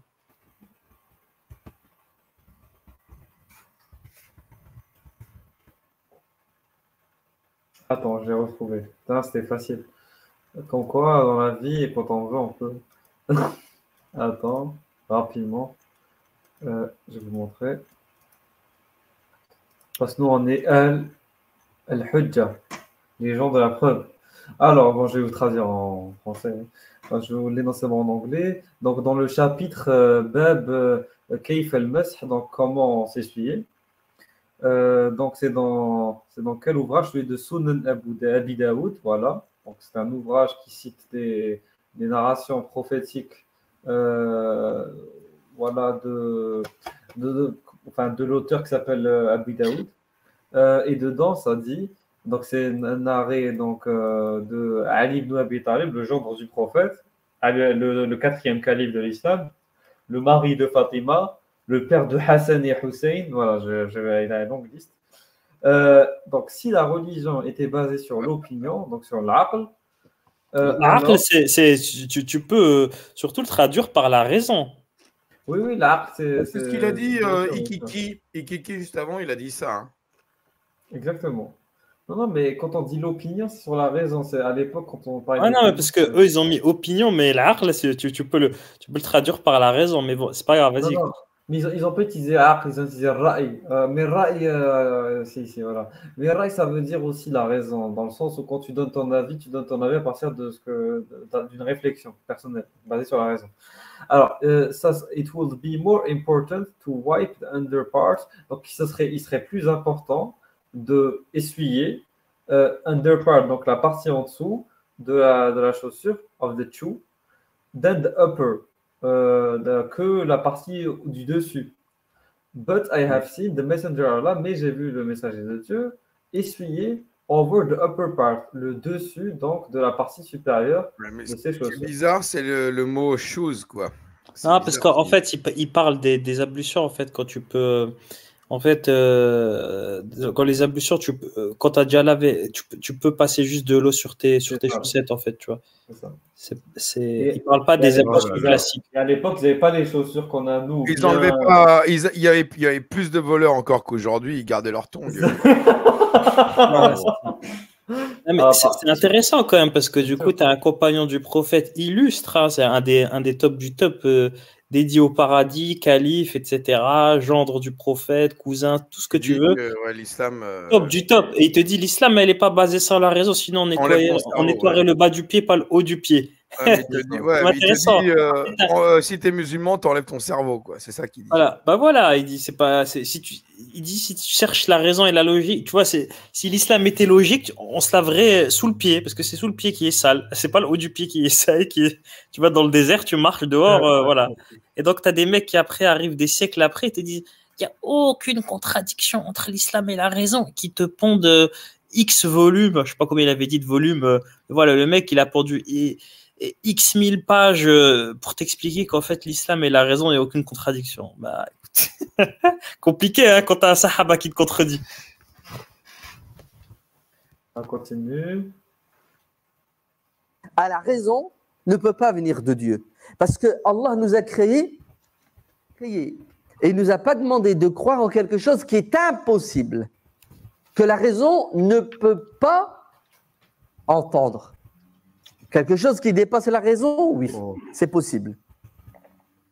Mais quelque chose qui vient remettre en question la raison, impossible. Sinon, sinon, ben, ceux qui sont égarés ont un alibi sans précédent. Donc, bah écoutez bien. Ibn al-Qayyim, son élève, le premier de ses élèves, le plus grand, c'est ce qu'il dit? Il dit cette religion. Ah, mais attends, cette religion, cette voie que Dieu a tracée, la charia, elle est belle. Allez-y, allez-y. Ibn, Ibn Qayyim, c'est autant intérêt que Ibn Taymiyyah. Exactement, bien sûr. Enfin, je ne sais pas si c'est le, le, le, le, bal des, des savants euh, tarés, tu vois. Je ne sais pas, peut-être. Mais en tout cas, je sais pas, il a des références un peu douteuses. Euh, là, ce que j'allais dire Le gars, il a des références hyper belliqueuses comme ça. on a bien fait de le virer, lui. Mais on a bien fait. Ah ouais, non. Au début, je me disais, pourquoi lui, quoi? Mais à fur et à mesure que je vois vos spaces où vous parlez des QSL, je me dis, bah oui, bien sûr que on a fait de. Non, mais attends, euh, Abou euh, Weber, tu Abou, sais. Déjà... Abou vulgarité, s'il te plaît. le, le tribord de l'apostasie. non, sérieusement, euh, les, les, gens pensent que. Euh, voilà, on a peut-être bien fait de l'expulser pour des raisons d'antisémitisme ou je sais pas. Mais je suis désolé, ça, un discours comme ça catastrophique euh, qui dit que Ibn Taymiyyah c'est un grand savant, euh, c'est le top du top, la crème de la crème avec son élève le plus grand, hein, Ibn al-Qayyim. Les références, je suis désolé, comme Yanis l'a dit, euh, qu'est-ce que euh, Hassan il va répliquer quand il y aura quelqu'un qui va tomber sur euh, les ouvrages qu'on a lus? Et après, il va venir, il va lui dire euh, on fait comment? Mais qu'est-ce que Hassan il va lui dire? Oui, non, c'était un contexte, il faut comprendre le système global, c'est la légitimité, tu sais, comme euh, Birmingham. Eh ben non, ça, ça, ça fonctionne pas. Ah, c'est même pas moi qui dis ça, c'est Bajrafil, hein. je lui donne totalement raison. Tu donnes totalement raison. Bajrafi, il dit que quand les, quand les extrémistes ils vont voir leurs imams avec leurs propres références, avec les textes qu'ils ont retrouvés sur Internet, eh ben, ils bafouillent. Mais après, lui-même, il a bafouillé Bajrafi. Mais, mais c'est vrai que moi, je l'aime bien, Bajrafi. Euh, j'ai de la sympathie pour lui. J'ai l'impression, après, euh, je sais pas, j'ai l'impression qu'il est sincère. Je sais pas vous, hein, mais bon. Après, on dérive. Euh, attends, je vais vous montrer un truc. Il parle de Ah oui, euh, la, la, posta. Il s'est retiré, de, retiré de l'Islam Game. Euh, ouais. Déjà, déjà le fait, rien, que rien que ça. Non, il juste, de l'imama, et... juste de l'imama, les gars. Il n'est pas, il pas en retrait de toute activité non plus. Hein. Non, non, j'ai dit de l'Islam Game parce que tout cet imama-là, c'est ce que j'appelle l'Islam Game. Et pas l'islam gay, hein, l'islam game. Alors, je voulais un truc parce que là, il parle de raison, contradiction avec la raison, etc. Je suis désolé. Regarde ce que Ibn Taymiyyah a rapporté dans son livre Bayan Tablis al-Jahimiyya. Donc, la déclaration en référence a été citée par Sheikh al-Islam Ibn Taymiyyah de Uthman ibn Sa'id al-Darimi. Donc, il, le prend comme référence pour justifier sa réfutation des Jahmites. il dit Uthman ibn Sa'id al-Darimi a dit dans la réfutation de Marisi. Donc le Marisi, c'est un Mu'tazilite. Euh, plus étrange que tout cela euh, est l'analogie que vous faites pour déterminer la taille d'Allah en mesurant le trône en termes de poids. Là, c'est une réponse à toi, Bébert. Là, en gros, Ibn Taymiyyah est en train de te répondre. En train de te dire, c'est pas normal de faire l'analogie pour déterminer la taille d'Allah en mesurant le trône en termes de poids, de volume. Prétendant comme un aveugle garçon que si Allah avait était plus grand, plus petit ou de la même taille que le trône. Si Allah l'avait voulu, il aurait pu s'installer sur le dos d'un moustique. Et oui, verre. Ce que dit Taymiyyah. Ah oui, mince. Euh, je n'avais pas envisagé ça, c'est vrai que. Pardon, mais. Ah, t'as vu Non, mais attends, il faut que je m'excuse auprès de tous les gens qui, m'ont suivi sur Twitter et sur YouTube. Je euh, J'ai pas envisagé le cas où Allah se serait euh, établi. Comment on dit Voilà, sur le dos d'un moustique. Voilà. Ah, t'as vu, là, il t'a eu à contre-coup, tu vois. Tu t'attendais pas à ce du moustique. Là, franchement, t'es. Ah, là, je suis dans la merde. Donc, euh, si Allah avait voulu, il serait installé sur le dos d'un moustique et il, donc le moustique, l'aurait trouvé léger. Eh oui. Euh, donc, euh, par sa puissance et la, et la subtilité de sa seigneurie. Comment alors ce serait sur un magnifique trône plus grand que les cieux et la terre? Ah eh bon, il est d'accord. Il revient, il revient, il revient au point de départ. Il, a fait juste, il a fait un, petit, euh, comment il s'appelle, euh, triple loop triple loop piqué, comme disait Nelson Montfort quand il commentait le patinage artistique là. Il, il est retourné au point de départ. Oui, sauf que bon, bah, son trône, il dépasse les cieux et la terre. Il va pas dire, il va pas dire le contraire. Euh, Allah, il n'est pas sur le dos d'un moustique.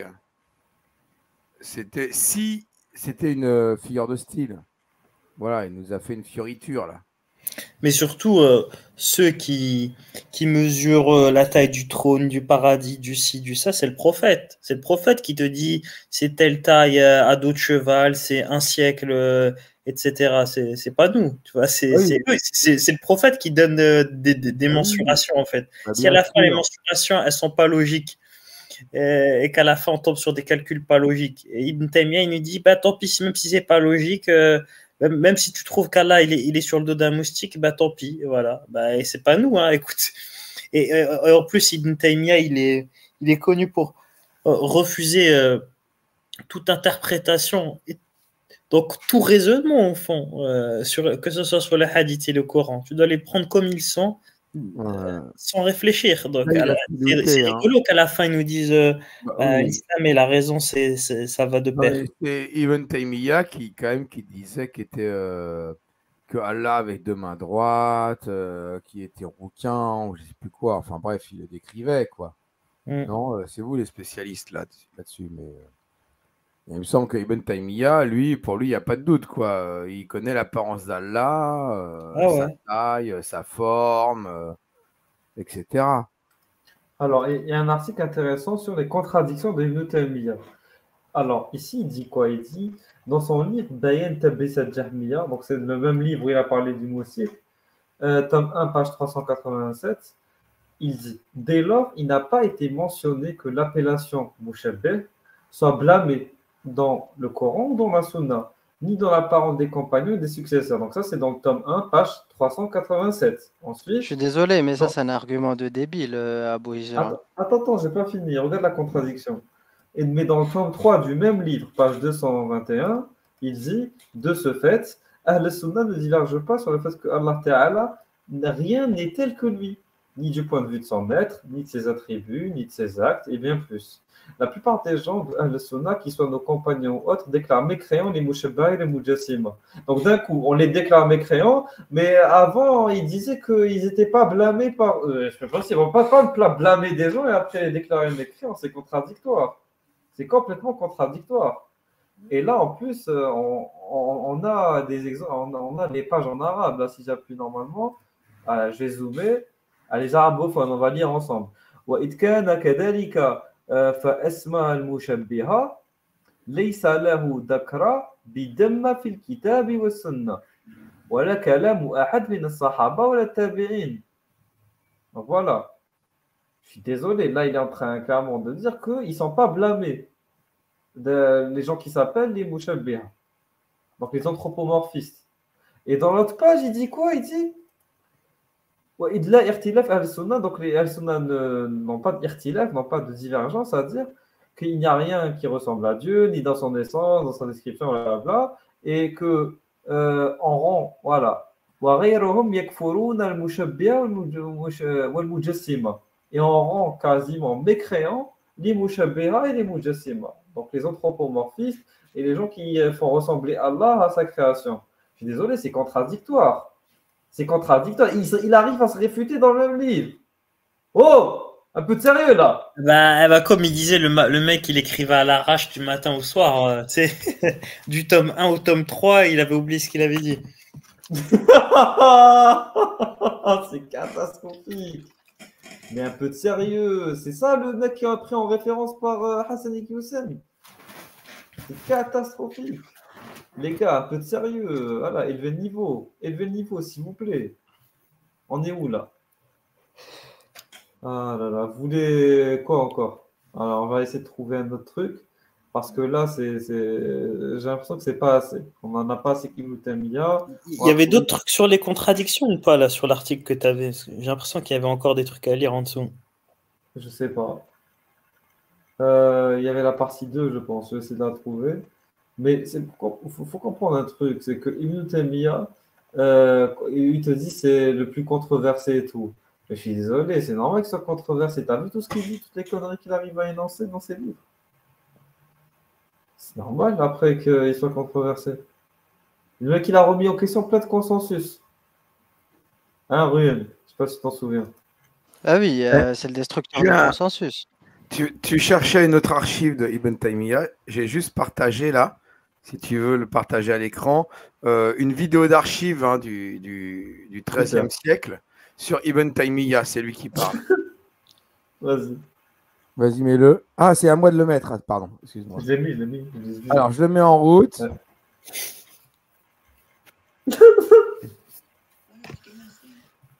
J'en ai marre de toi, le maire. J'en ai marre de toi.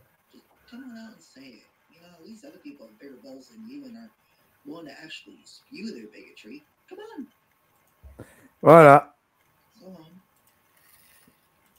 Voilà, voilà. Bah écoute, euh, c'était très court. Hein. C'est bien ça. Il faut, montrer que l'islam, c'est la paix, l'amour et la tolérance. Ah là là là, mais, c'est catastrophique. Par exemple, là, attends, je vais vous montrer un autre truc vite avant d'entrer la, la contradiction, je n'arrive pas à la retrouver.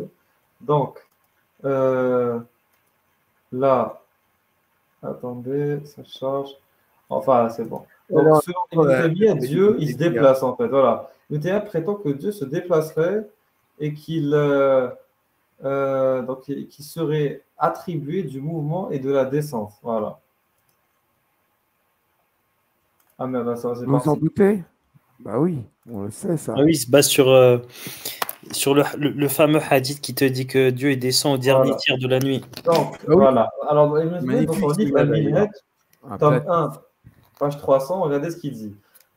Alors, en disant Dieu bouge et qu'il est doté d'attributs qui ont un début hawadith, quelle est la preuve que ce que nous disons est faux? Donc, euh, il dit dans son livre Donc, euh, ah oui, c'est là où, soi-disant, la raison ne contredit pas la révélation. C'est dans ce livre. Il dit quoi? Il dit Allah, donc El Hayyul Qayyum, c'est les, deux noms d'Allah. Il bouge s'il le veut. Il s'élève s'il le veut. Il descend s'il le veut. Il se lève et il s'assoit s'il le veut, car la différence entre celui qui est vivant et celui qui est mort, c'est le mouvement. Voilà. Donc là, je suis désolé, en train de carrément de faire le THB euh, et en train de dire que Allah, il a la même logique que nous. Quand on, est, on, est, on, est, immobile et quand on est en vie, on, bouge. Oui, Mais est-ce que Allah twerk? Allah peut twerker s'il le veut. Oui, Allah peut twerker s'il le veut. Oui, s'il veut, il franchement, j'ai l'impression de lire du Vandame, honnêtement. Ah, excellent. Ah, mais c'est ah, vrai, c'est vraiment une vraie impression. C'est même pas pour me moquer. Ouais, ou euh, du Vandame, voire même du Affida Turner, hein, des fois.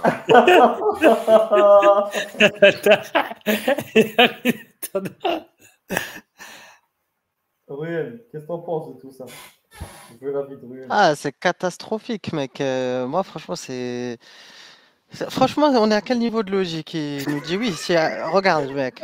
Oh, tu prends Allah, tu mets n'importe quel dieu ou n'importe quelle entité. Je sais pas où est-ce qu'il a mis une démonstration et une preuve. Ah, c'est du 5 ans d'âge mental. Hein. Non, mais les gars, en fait, je pense que j'ai compris le jeu de Hassan Iqwisen. En fait, Hassan Iqwisen, il joue à un jeu du, du tout, tout, le contraire, en fait. Il faut regarder son discours et comprendre tout le contraire. Quand il dit que Ibn Taymiyyah, c'est un génie, qu'il est super intelligent et qu'il est, et qu'il est pour le djihad défensif et pour la paix, il faut comprendre que Ibn Taymiyyah, c'est un con pour la guerre, en fait. oui. Il est vraiment à l'opposé de la réalité. Mais c'est exactement ça. Ah ouais. Il y a, on sent le mépris. De toute façon, il a beau dire c'est un génie parce qu'il est obligé, il n'a pas le choix. Euh, s'il dit pas que s'il dit que Ibn Taymiyyah c'est pas un génie, le mec il est plus crédible. Donc euh, il est obligé de le dire, mais tu sens tout le mépris, tout le mépris qu'il y a derrière quand il en parle. Là par exemple, je vous disais, euh, en plus Ibn Taymiyyah s'est permis d'insulter Ali, Ali le compagnon et tout du prophète qu'il est est le plus. Alors il a dit quoi sur Ali Il a dit alors, euh, tac, tac, tac, on remonte en haut. Voilà. Donc, euh, Al-Hafid ibn Hajar Asqalani a mentionné dans son livre que a déclaré que l'émir des croyants Ali, qu'Allah honore son visage, se serait trempé dans 17 sujets dans lesquels il aurait contredit le texte, donc le Coran, même du livre. Les savants ont jugé hypocrite pour cette allégation au sujet de Ali, que Allah honore son visage donc euh, qui n'aurait pas été soutenu, qu'il aurait été combattu pour le pouvoir et non pour la religion. Donc euh, ça c'est dans les, les, les Ibn Hajar. Ibn Taymiyyah l'a mentionné dans son livre Minhaj, qui dit « Nous n'avons pas à prêter, allégeance à quelqu'un qui est incapable de nous rendre justice, ni à quelqu'un qui le délaisse. Les imams du livre et de la ont reconnu que le combat à ses côtés n'était ni un ordre, ni une obligation, ni même recommandé. Donc là, en fait, il dit qu'Ali, c'est une merde, euh, littéralement bien que Ali n'eût pas pour ordre de les combattre non plus, et qu'il fut dans l'obligation de les combattre pour le simple fait qu'il n'y avait pas obéi et qu'il n'était pas en conformité avec la loi d'Islam. C'est terrible. C'est vraiment terrible. Ah ouais, euh, choqué. Moi, je suis choqué, je suis choqué qu'il rentre dedans comme ça. Ali a combattu pour la prise de pouvoir et à cause de ce combat ont été tués un très grand nombre de musulmans. Et il n'y a pas eu durant sa prise de pouvoir de combat contre les mécréants, ni de conquête de leur pays, ni une augmentation en bien pour les musulmans. En gros, ce que tu vois, il dit, c'est que tu vois, par exemple, Abu Bakr, Omar, Othman, peut-être que tu vois, ils ont massacré des Allahites, tu vois, mais ils ont fait un fait, tu vois, il y a, y a, du positif.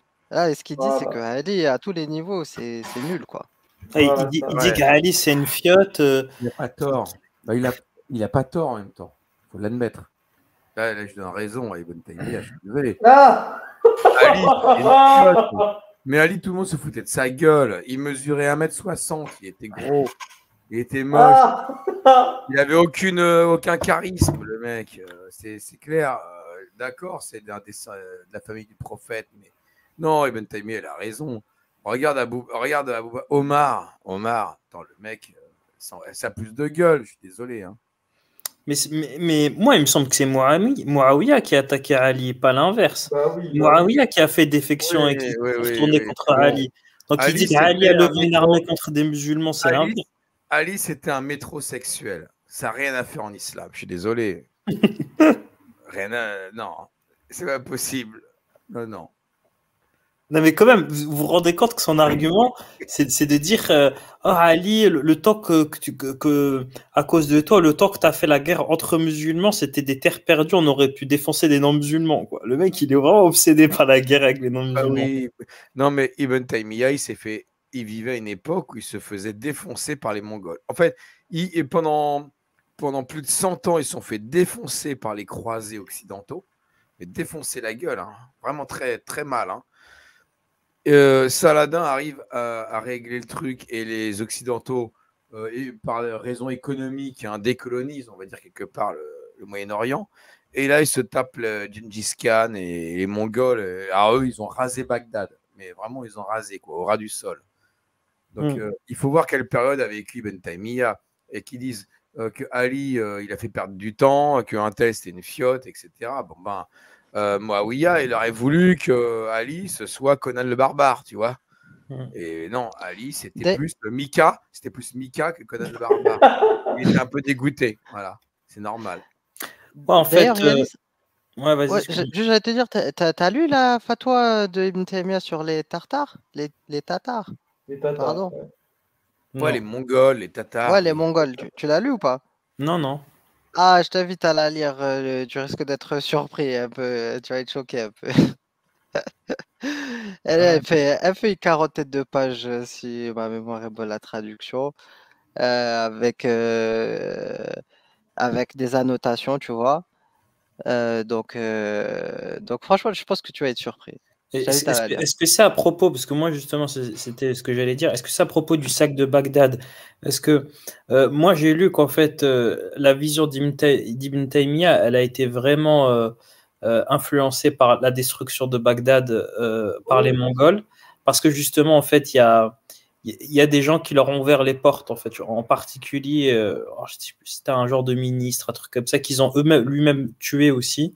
Et Ibn Taymiyyah en gros il dit bah voilà l'idée, c'est que euh, l'ennemi de l'intérieur, le maillon faible, il est plus dangereux que l'ennemi de l'extérieur. Et donc, on n'a pas besoin de fiottes, entre autres comme Ali, hein, j'imagine. Ça doit être ça sa pensée. Hein. Pour lui, c'est ça, oui. Parce qu'Ali, en fait, il a, pas, il a dit oh, il a plus passé le temps à combattre des musulmans euh, que d'aller combattre des mécréants et de prendre leur terre, faire le djihad en fait, Ibn Taymiyyah, son obsession, c'est de, c'est de s'occuper des, des musulmans de l'intérieur qui, pour lui, sont plus dangereux que l'ennemi extérieur, tu vois, euh, à l'image du sac de Bagdad. Et pour ça, il est prêt jusqu'à même à dire tout n'importe quoi sur les compagnons, notamment Ali, comme quoi c'était une merde et tout, euh, pour légitimer euh, sa logique du djihad. Euh, attends, j'ai trouvé un truc. à Ibn Taymiyyah, sa croyance anthropomorphiste. Ça, c'est intéressant. Après, entre nous, euh, voilà, on va pas rentrer dans les détails, mais l'histoire de Ali et, d'Othman, euh, elle est pas claire cette histoire, tu vois, franchement. Mais aucune, histoire n'est claire, hein, celle d'Abu celle de Omar, celle de Muawiyah, celle de Yazid. Toutes les histoires sont bizarres. Elle est pas claire, tu vois, le mec qui veut pas tuer les, meurtriers de Othman, euh, soi-disant il a pas la force et tout. Il a pas le temps, il a pas le temps. Mais même s'il veut pas le faire, il fait ce qu'il veut, en fait, il est calife. On s'en bat les couilles. Moi, je suis de l'avis de Ella Wardi quand elle, dit qu'en fait, bah, tout simplement, euh, il était soit actif, soit passif dans cet assassinat. C'est-à-dire que soit il était, volontaire parce, qu'il, bah, parce que lui, ça fait un moment qu'il, attend le pouvoir, soit il, est, soit il, est, euh, il était passif euh, en disant bon, bah, c'est arrivé, c'est mérité, on va pas le je, comprends ceux qui l'ont buté parce que Ottoman, c'était un vrai connard qui mettait n'importe qui au pouvoir et qui, s'en mettait plein les fouilles. Bébé, t'as un écran noir. Euh, tu veux que. Je ferais mieux d'enlever la caméra. Hein.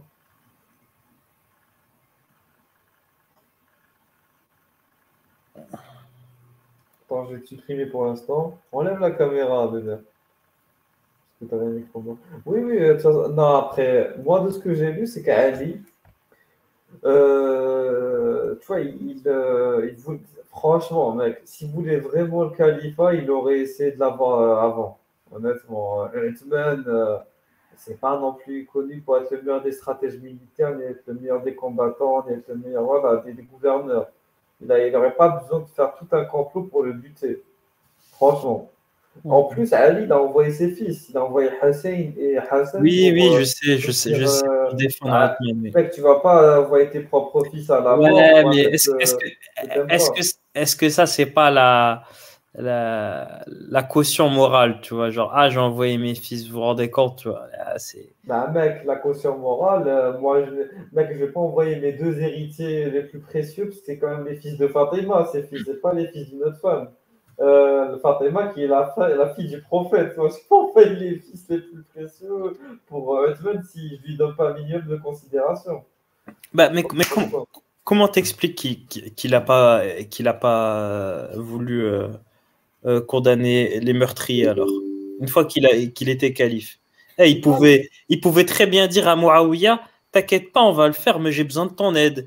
Et, de l'autre côté, il la petite canaille, euh, il y, a la petite canaille euh, Aïcha qui, qui a vu une armée et il dit non t'inquiète moi aussi je suis d'accord avec toi on va tous se rejoindre et, ceux qui font défection de mon côté qui voudront se retourner contre moi ils auront les miens qui me suivent l'armée de Muawiyah plus l'armée d'Aïcha et on pourra condamner les meurtriers de Uthman. Non, il n'a pas fait ça. Il a dit non, non, on on les condamne pas. On les condamnera quand je voudrais. Non, c'est pas ça. Il, fallait, pour condamner quelqu'un, il faut que tu fasses une enquête, il faut que tu comprennes comment ça s'est organisé. Il fallait prendre son temps. Eux, ils étaient trop pressés. Voilà, Ali il est en mode d'en prendre notre temps. Eux, ils voulaient directement en mode talion. Il leur a dit non, on fait pas le talion. Je suis désolé. Mais en plus, mec, euh, non, mais on les connaît. On, a des noms. De, ils sont venus en tant qu'émissaires. Ils sont venus d'Égypte. Euh, on, sait c'est qui qui a fait ça. Donc, euh, c'est pas. Tu vois ce que je veux dire? Ils sont venus en nombre. Ils sont pas venus seuls. Mais, après, lui, il devait consolider son califat aussi. Il n'avait pas le temps d'aller chasser des connards euh, qui sont venus d'Égypte. Bah, c'est les, les régicides. Ils ont tué le roi. Et alors, le roi on légitime. Pas manger le roi, on a, d'autres trucs à faire, mec. Ali était tout juste calife. Mais il avait quoi à faire, à faire, Regarde, si en face de toi, tu as un mec qui veut te faire la guerre, il te dit soit tu, tu condamnes les, meurtriers d'Ottoman, soit je te fais la guerre. Moi, j'aurais dit d'accord, pas de souci, autant éviter la guerre. De toute manière, moi aussi, je suis pour les condamner. Viens, Muawiyah, suis-moi, on va les défoncer. Aïcha, pareil, descend. Muawiyah, Muawiyah, attends, Muawiyah il voulait le pouvoir, il s'en foutait. oui, je sais qu'il voulait le pouvoir, mais, mais l'argument qu'il a avancé, c'était la justice pour Rothman. Ben, il, ouais, bah, est un hypocrite parce que oui, oui. vraiment la justice, il serait allé le défendre plus tôt, tu vois. Ils n'ont pas, pas attendu qu'il crève pour aller réclamer vengeance. Bah, on, en, on en reparlera un autre jour, mais bon. Euh, parce que dans son armée, il y avait des gens qui avaient tué Othman, hein, donc. Euh... Euh, dans l'armée de Ali Bah oui. Ouais, je sais pas. Bah, t'es sûr de ça? Bah oui. Ok, ok. On, je ferai mes recherches, pas de souci. Euh, je savais pas ça. Mais après, Hotman, il méritait d'être tué en même temps. Franchement, il était injuste, il faisait du favoritisme. C'était un peu un fillon d'époque, tu vois. Il mettait sa famille au pouvoir. Oui, oui je te euh, il, a, il, a, il, a, eu que ce qu'il méritait. Euh, alors, on continue. T'entends deux secondes. Euh, ah, moi, je vais partager ça vite fait. Donc, euh, la tribu assise à Allah, voilà. Alors, euh, Al-Sunnah al Jama'a, de la part d'Allah sur son trône glorieux et apprendre au sens propre et pas au sens figuré. Donc là, c'est bon, ça dans ses Nejma Fatawa, il le dit. Istiwa, donc le fait qu'Allah s'établit sur son trône, il t'a dit qu'il faut le prendre dans le sens propre et pas au sens figuré.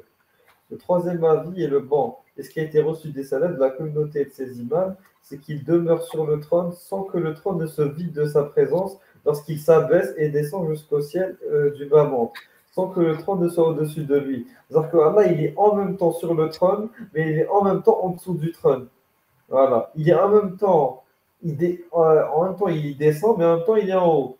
Mais il est partout à la fois. Mais tout en étant sur le trône, tout en étant. Voilà. Il peut se lever tout en étant assis. Masha'Allah, la raison qui contredit pas la révélation. Ah oui, ça contredit pas la raison. Mais c'est de la folie. Il te dit, attends, attends. Il demeure sur le trône sans que le trône ne se vide de sa présence, qui s'abaisse et descend jusqu'au ciel. Donc il descend, mais sans que le trône ne soit au-dessus de lui. Mais ça, ça n'a aucun sens. Et après, il te dit. Euh, non, mais Abou Ijra, donne-moi la preuve autologique que ce que Ibn Taymiyyah a dit, c'est faux. C'est ça ton problème aussi, c'est que ton paradigme scientifique, euh, c'est pas le bon, tu vois. Bah, on ne peut pas être à deux endroits en même temps. C'est le principe de non-contradiction de la logique aristotélicienne. Soit on mais pas, peut pas être en haut et en bas. mais ce n'est pas une impossibilité rationnelle. Bah si, c'est une impossibilité rationnelle.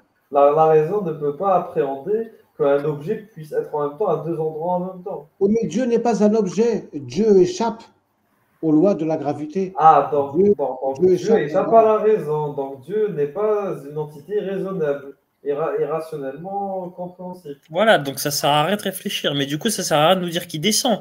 Si, si, si, ça sert à rien de nous dire que ça, qui descend. C'est allégorique. C'est allégorique. Ben non, c'est allégorique ça n'a aucun sens. Euh, même, avec même vos cerveaux, avec vos cerveaux d'apostat, ça ne peut pas fonctionner parce que vous n'avez pas la foi vous essayez de raisonner en tant qu'être humain. Là, non, mais, pas d'un être humain. Non, non, mais tu as raison, c'est allégorique. C'est ce que pensent les acharites. Mais Ibn Taymiyyah, lui, il dit c'est littéral. On ne doit pas dire que c'est allégorique, justement. Donc le mec, il te dit c'est littéral, mais à la fois, ça veut rien dire. Donc il est bloqué. Mais un autre truc, je pense pour la, Anglais, en fait, il veut Il veut en même temps un peu d'acharisme, un peu de hambalisme. Il veut les deux en même temps. Mais il y a quand même un truc euh, qu'il faut dire et je pense qu'il faut prendre en compte euh, pourquoi il dit il descend, mais il descend pas vraiment. Et eh ben, il est pas con, le mec. Moi, je. Ah, ah, en fait, Ibn Taymiyyah, il est tardif. Donc, euh, il est. attends, je regarde l'année exacte. Euh, voilà, je vais regarder sur Google, hein, je ne vais pas faire genre. Et 1263. Bah oui, à ce moment-là, à ce moment-là, je pense que les gens savaient que la Terre elle était ronde. Bah oui. Et, et que donc euh, il y a un souci avec euh, ce hadith où Allah descend au dernier tiers de la nuit. Parce qu'en fait, il y, a tout, le, il y a un dernier tiers de la nuit en permanence à un moment donné sur Terre. C'est ça. Donc il est tout le temps sur Terre. Et moi, je, moi, je pense que c'est plutôt à cause de cette incohérence que Ibn Taymiyyah dit qu'il est en haut et qu'il descend, mais qu'il reste en haut, mais qu'il descend quand même. Je pense que c'est plutôt pour ça qu'il raconte un truc aussi absurde que ça. Parce qu'avant ça, les mecs, ils étaient cash, ils disaient voilà, il descend et c'est tout, quoi. C'est comme pour le. C'est intéressant, tu vois, cette, cette, euh, cette, euh, cette évolution. Euh, il y a Arab Masket qui a fait un, super vidéo. C'est vraiment les meilleures vidéos euh, anti-islam, c'est Arab Masket pour moi. Je vous le recommande. Ouais, je suis euh, d'accord avec toi, Yanis. Hein.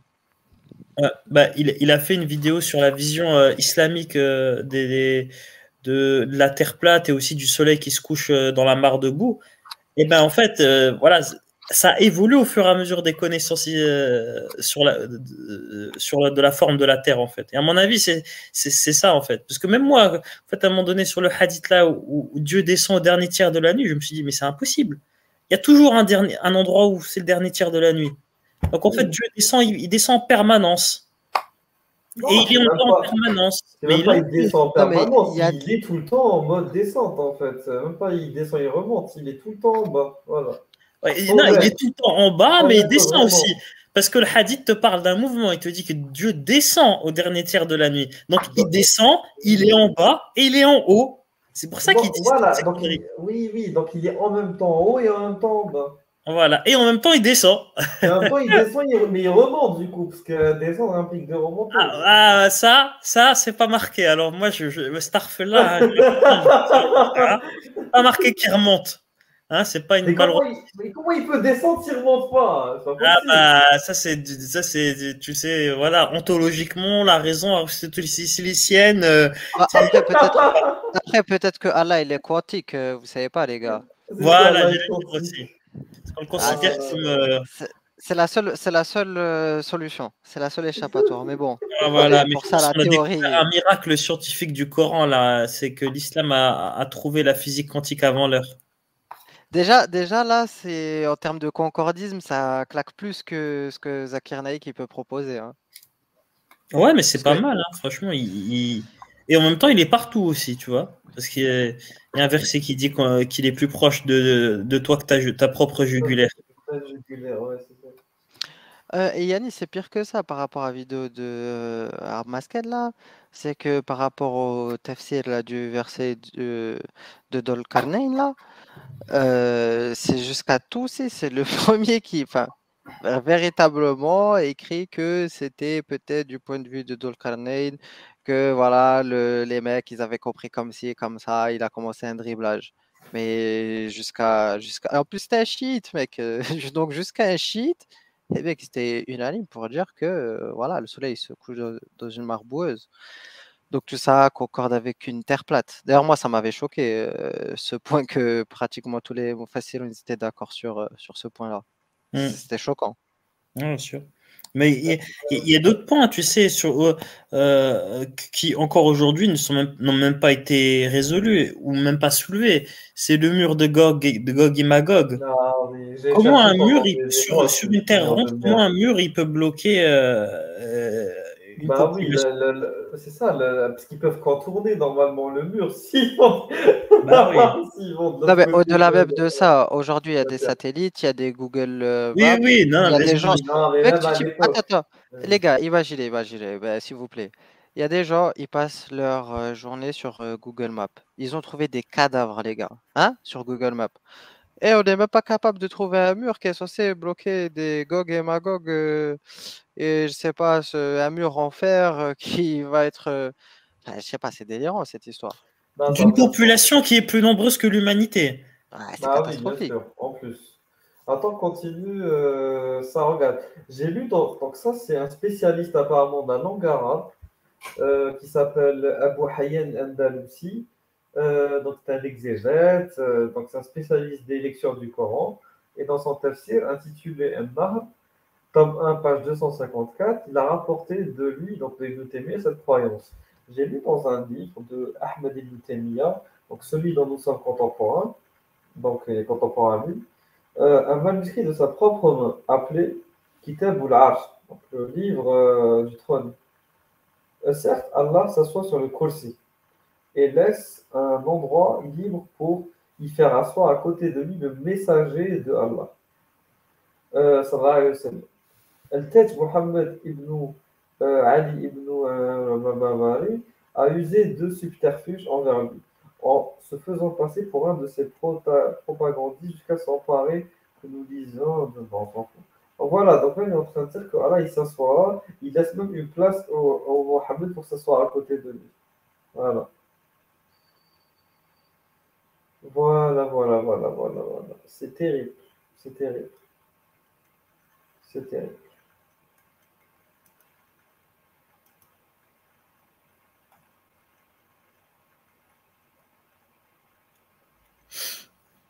Je suis en train de chercher un autre truc. Bon, on peut s'arrêter là pour nous Mia, parce que on a, on a- en fait, on, on peut encore on peut dire plein, plein, plein, plein de choses, mais ça finira jamais. Ça finira jamais. Ah, 37 Ouais. tomes de conneries, mec, à analyser, hein, c'est Ah, c'est trop. j'étais ouais. Parti euh, tester d'autres trucs là. Donc, euh, je vous ai parlé des, des, des 17 couilles de Allah euh, selon Ibn, euh, Ibn Tarmiya, j'imagine. T'as dit 17 quoi. Les 17 euh, paires de baloches de l'Allah. C'est quoi ça? Non, mais je disais des conneries, pardon, excusez-moi. Je sors. Alors, on l'a pas encore, on la connaît pas encore celle-là. C'est c'est nouveau. Non, mais j'attendais. Je testais des trucs. Regardez, j'ai un truc. Ça sert de caméra, sachant que je peux pas être filmé du tout. Hein, moi, oui. Regardez. Hop.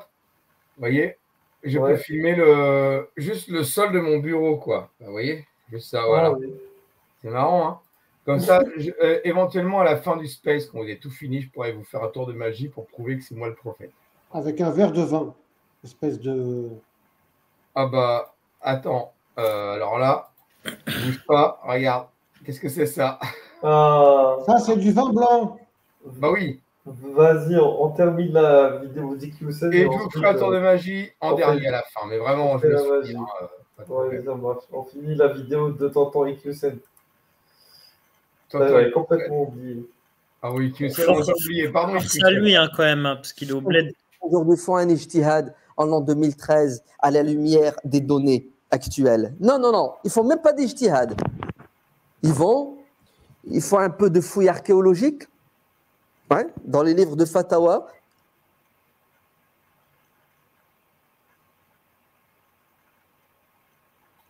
Ah, les connexions des Algériens.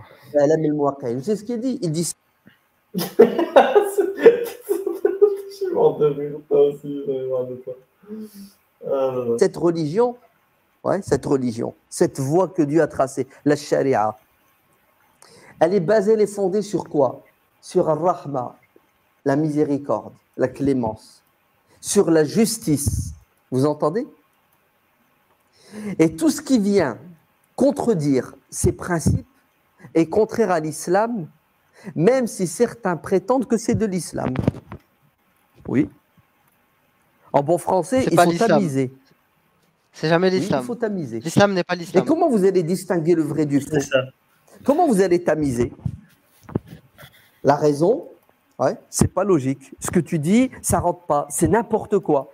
C'est pas logique. Secondo, c'est contraire à la justice. Ah, je. C'est contraire à l'amour, à la miséricorde. J'en veux pas. Mais attends, comment ça, j'en veux pas? Je- moi, moi aussi, je veux pas du coupage de main, de la flagellation. Et ça, en fait, si on suit ces principes, il n'y a plus d'islam. Avec ce principe, on dit plus d'islam, en fait. Motif, c'est En pas fait-. Tu devrais faire, un Bébert, il devrait faire un petit jingle, témoignage d'apostat, tu vois. Genre en mode Ah, comme oui. apostasie, un petit short. Et un mec qui dit Moi, j'ai vu des trucs dans l'islam, avec le passage là, j'ai vu des trucs dans l'islam, c'est pas logique, donc j'ai quitté l'islam. Mais c'est ça, mais là, il faut parler comme un imposteur. Ah, Bébert, t'as ton prochain short. hein.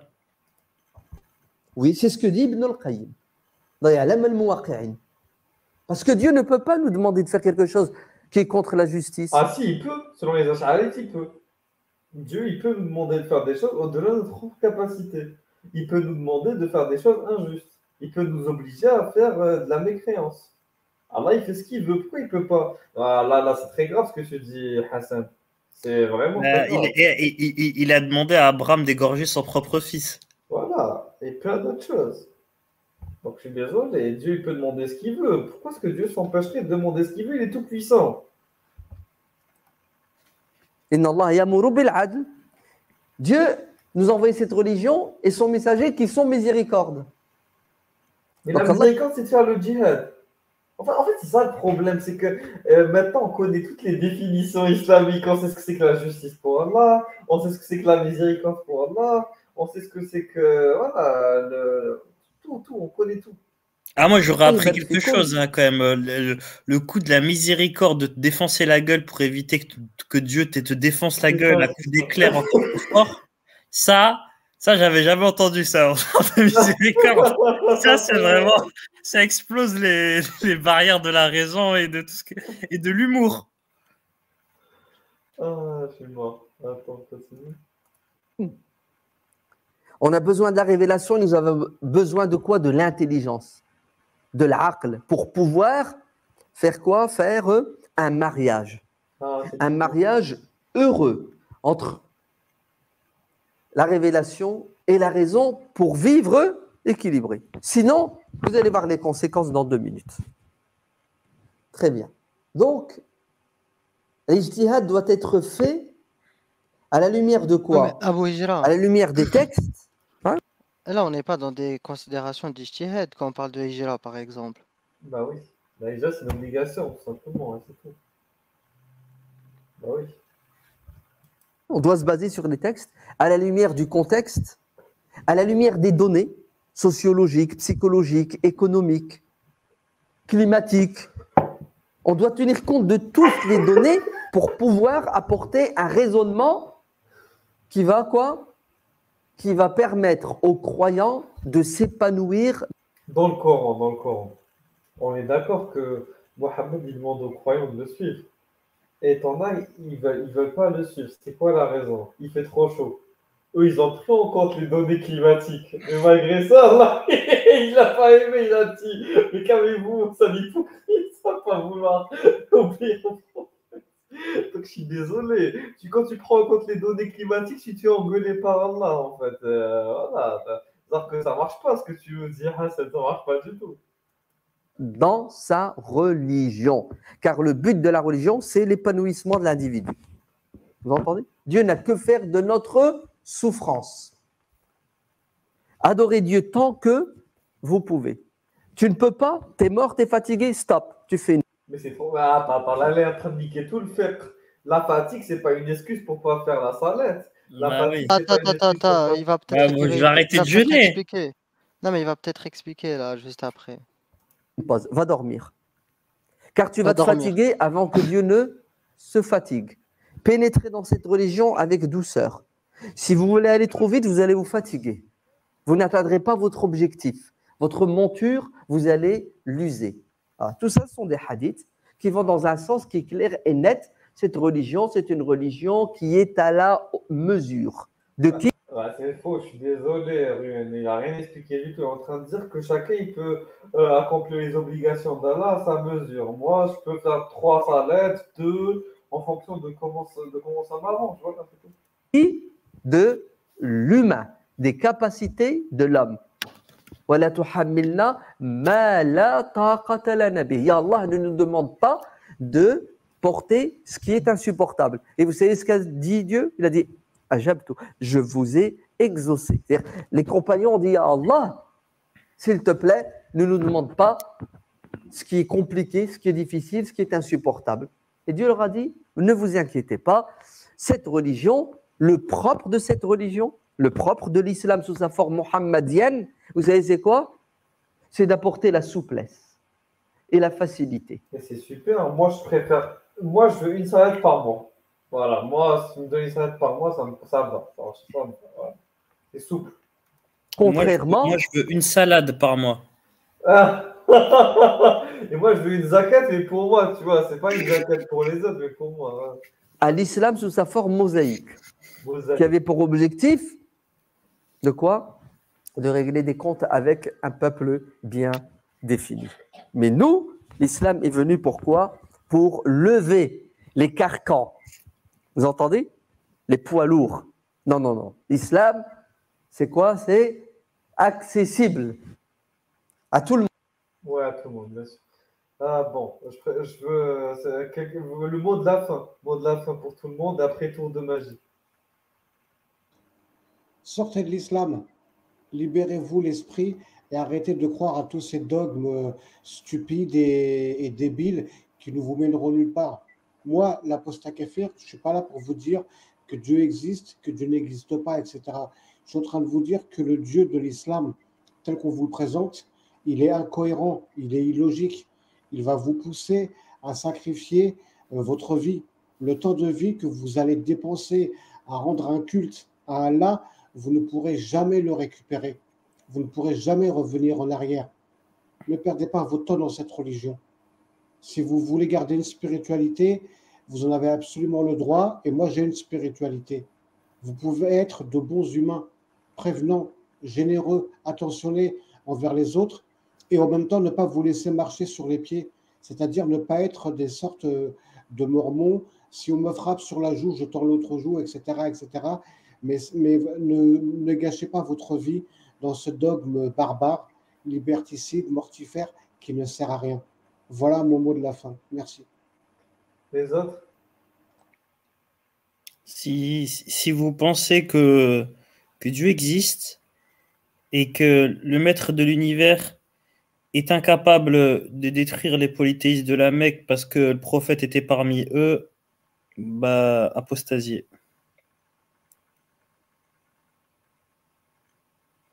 Euh,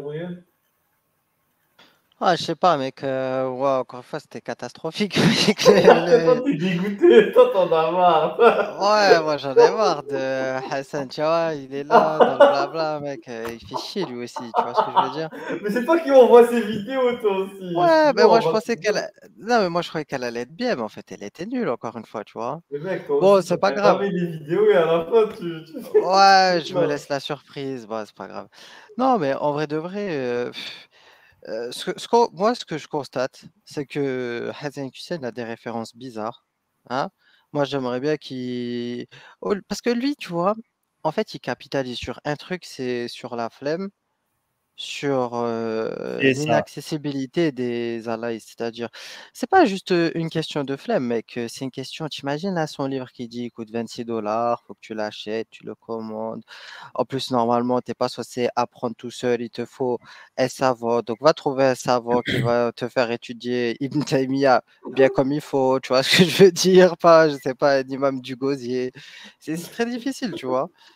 Euh, donc, euh, lui, il capitalise sur ça et c'est pas correct, tu vois. C'est pas correct c'est euh, c'est- quand même rigolo. Parce que Ibn Taymiyyah, c'est un mec.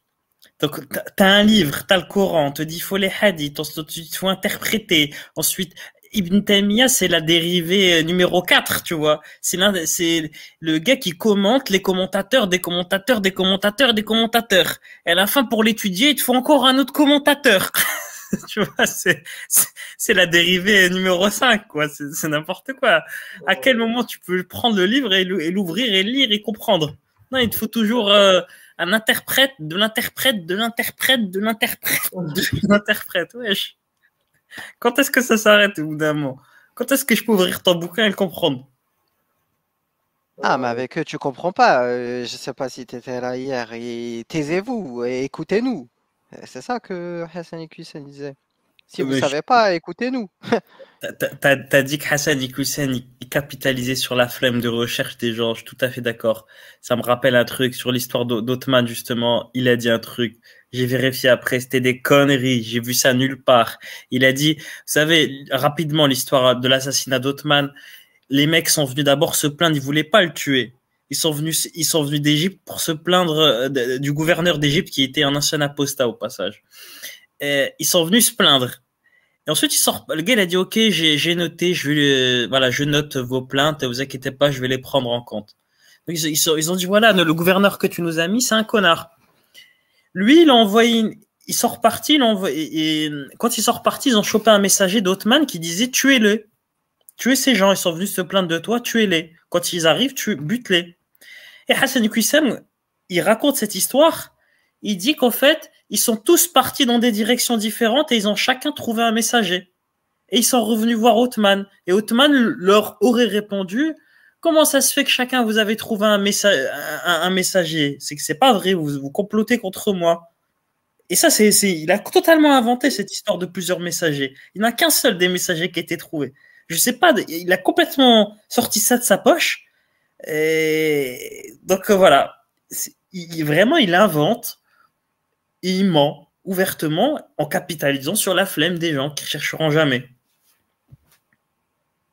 Non, mais après, euh, son discours, il est rodé, tu vois. euh, il te démotive dès le début. Il te dit que voilà, 37 tomes, 7 tomes, t'imagines, tu dis, ah, 7 tomes, oh là là, comment je vais trouver. T'imagines? Bah, ça, ça dissuade déjà d'emblée. Je dis, un savant, 37 tomes. Allez, c'est à quelle heure on avance dans la compréhension de l'islam, mec? Ah, c'est ça. Euh, Bébert, allez, vas-y. Euh, tour de magie. Je t'en prie. Ah, tu veux un tour de magie là? Ouais, pour finir. Ouais. Bon, bah, écoutez, alors, je vais voir si ça marche la caméra. J'ai encore monté. Je mets des bouquins sur le... la caméra. Attendez. Ah oui, on voit là. Attends, il faut que Vas-y, vas-y, Blandine. Attends, focus. Le focus, est-ce que ça marche? Bon, on s'en fout que ce soit pas bien. Attends. Attends, je vais essayer de focaliser sur toi. Est-ce que. Mais attends. Là, on voit pas ma main là. Ah, ça marche, ça marche pas. Attends, j'éteins la caméra. Hop. Ah ouais, si la caméra marche pas, c'est compliqué. Alors. Ah oui, non, mais là, c'est pas sur moi. Mais en plus, ma caméra, elle est bloquée là. Je sais pas ce qui se passe. En fait, je bouge tout et mon image est fixe. Ah ouais, mais là, il y a un problème. Écoute. Ah, c'est une surprise. Ah, voilà. C'est pas des cartes bicycle? Non, alors c'est presque pareil. Euh, c'est pas des bicycles, c'est comment elles s'appellent déjà celle-là? C'est les. Bah, c'est quasiment pareil. Et les Tailiho. Oh, ça va, c'est une bonne marque, ouais, ça va. C'est bah, pareil, hein, Tailiho. Alors, euh, bah, je vous fais un tour. J'ai besoin de. Mais je ne vois plus, c'est normal que je ne vois plus Ah oui, c'est normal. Ah d'accord. Euh, qui c'est qui va choisir la carte au hasard? Moi. Allez-y. Ah, c'est la réponse. Ouais, mais on va dire que non. Toi, non, parce qu'on va dire qu'on est complice. ah oui, monde va dire ouais, ils ont prévu ça. Ruyen, Ruyen, il n'a pas parlé aujourd'hui. Ruyen, t'es là, Ruyen? Ouais, ouais, je suis là, hein, Ok. En plus, il euh, il est tu vas pas choisir une carte. Tu vois, on va pas dire je montre une carte à l'écran et je la regarde pas. Je pense qu'on va me prendre pour un filou là. Tu vois ce que je veux dire? Donc, euh, en fait, c'est une carte que je vais voir. Hein. Je peux pas faire autrement. Désolé, les mecs. Donc, alors, voilà. C'est un jeu de bon euh, Ho. Et en fait, qu'est-ce que je vais faire? On voit bien là? Voilà.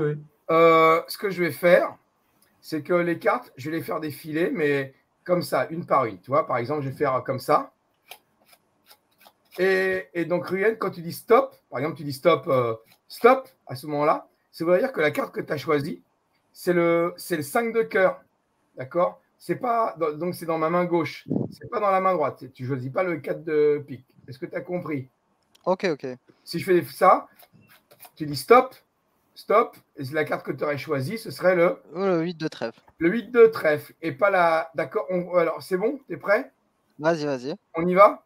Tu dis stop, mais alors, mais quand tu veux. Vas-y, vas-y. Stop.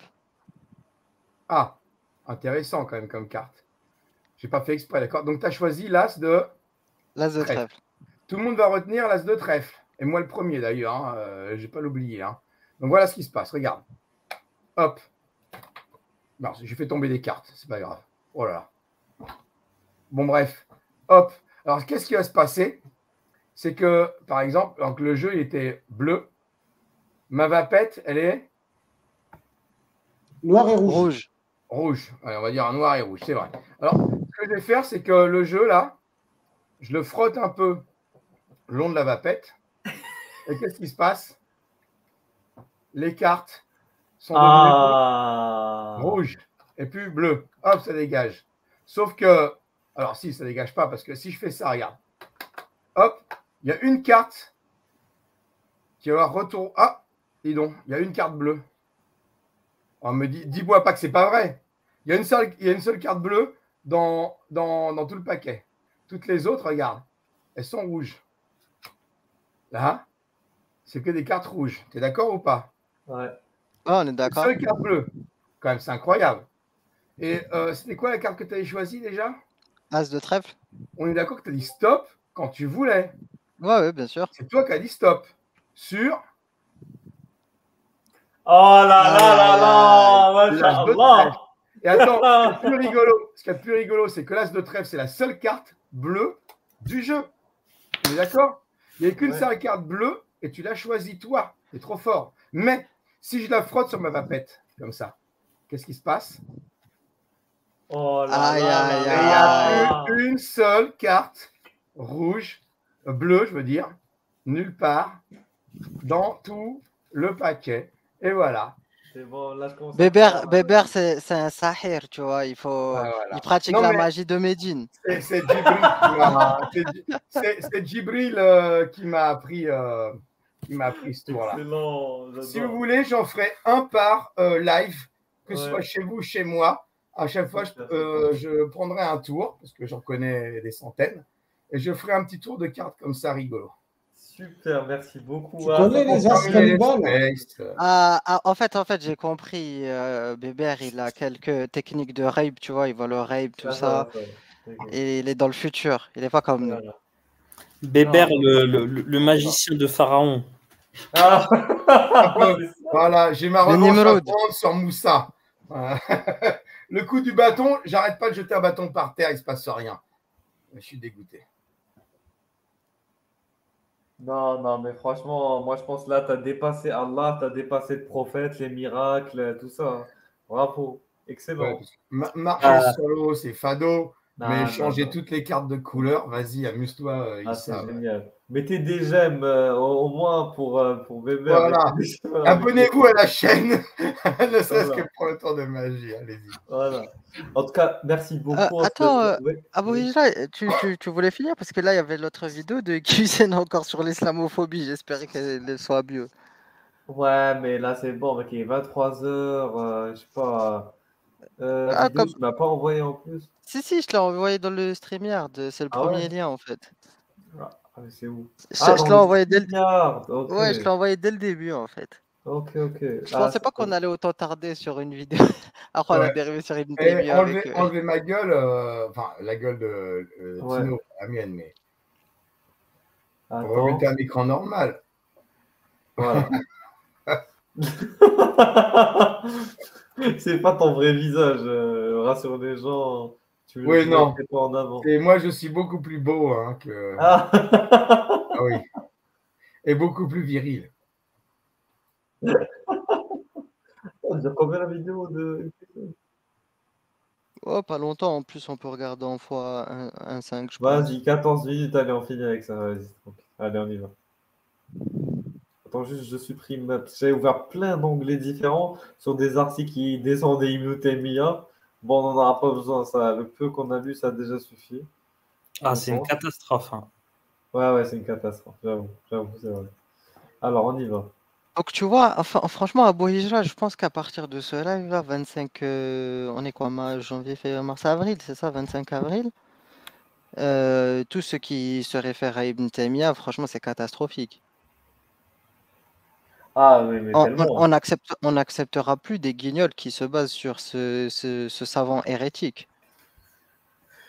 Plus jamais. C'est fini là. C'est fini. Ah là là. On continue. On y va. on va juste augmenter un peu la vitesse parce que là. Alhamdulillah. Et que la bénédiction et les prières soient sur notre prophète bien-aimé Mohammed sallallahu alayhi wa sallam ainsi que tous les messagers. Et que Dieu nous donne la force et l'intelligence. Est-ce qu'il va nous faire une chouka à la frère Mike ou c'est comment? Je sais pas, on va voir. De résister et de patienter. Patienter dans l'épreuve et résister à la pression. La pression qui est le fruit d'une stratégie d'une minorité de personnes dans notre société. Des islamophobes, racistes, qui n'aiment pas uniquement les musulmans, mais je pense qu'ils ont un problème avec tous les êtres humains qui ne leur ressemblent pas ou qui ne veulent pas se soumettre à leur désirata. Alors il nous faut de l'intelligence pour comprendre ce qui se passe et de la patience. Qu'est-ce qui se passe donc dans notre ah société Là, Hassan Hussein il est en train de dire que toi, tu détestes tous les êtres humains sur euh, la planète euh, Terre. Tous ceux qui ne sont pas comme toi, qui ne vont pas dans ton sens, euh, tu les détestes. C'est la haine absolue ou l'amour absolu. Il n'y a pas entre deux. Je peux, je peux vous poser une question à, à vous, mes amis, mes quatre amis. Euh, est-ce que vous aussi, euh, vous en avez marre que ça vous ouvre les oreilles chaque fois qu'un de ces sombres euh, humains dit le prophète, salam, j'en ai marre d'entendre cette phrase, j'en ai marre, j'en ai marre, j'en ai marre, j'en ai marre. Moi, ils ça répètent, fait rire. Ils, répètent leur mantra là, ils sont là, salam. Ah, c'est ton démon, bah, la bah après, tu sais, la poste en NC4, on se regardera la vidéo de. Comment il s'appelle déjà, Bouija Amin Nejdi, c'est comme ça? Ah oui, c'est ça, oui. Et, lui, carrément, il, parce que lui aussi, ça le faisait chier clairement dans la vidéo. Il disait Le professeur SM, ça, ça. Et, tellement que ça lui faisait chier, tellement que ça lui faisait chier. Mais on se battra. Sa vidéo, en plus, elle est très, très, très intéressante. Sur le elle est catastrophique. C'est une catastrophe. Mais t'inquiète, on va les salam aller qu'on va. Hein. Il se passe exactement ce qui s'est toujours passé dans toutes les sociétés des injustices. Et les injustices, il faut les identifier et ensuite les combattre intelligemment. Et il est clair et net qu'aujourd'hui, la communauté musulmane de France subit une injustice. Le traitement médiatique est un traitement qui est partial. Et aujourd'hui, malheureusement, un principe satanique a pris le dessus. Normalement, chacun est responsable de ses actes. Mais en ce qui nous concerne, nous, musulmans, aujourd'hui, nous sommes soumis à ce principe satanique, la responsabilité collective. Lorsqu'un musulman commet une faute, une erreur, tous les musulmans doivent se justifier.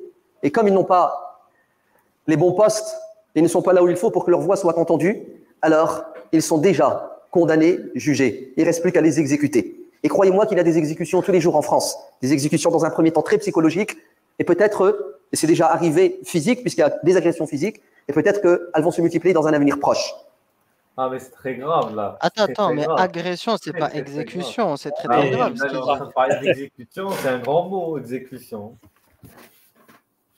Exécution, ça veut dire que c'est l'État qui est derrière, c'est pas. euh, Sinon, c'est un assassinat. Bah oui. Voilà, si je tape le mot exécution, exécution, c'est une peine de mort, peine capitale prévue par la loi consistant à exécuter une personne était reconnue comme coupable d'une faute qualifiée comme crime capital. Voilà, donc la sentence est prononcée par le pouvoir judiciaire à l'issue d'un procès. Une exécution, c'est pas un connard qui vient t'agresser dans la rue, c'est pas ça une exécution. Les mots ont un sens, on n'a pas le droit de les utiliser et leur attribuer n'importe quelle définition, Hassan. Putain, c'est grave ce qu'il est en train de faire.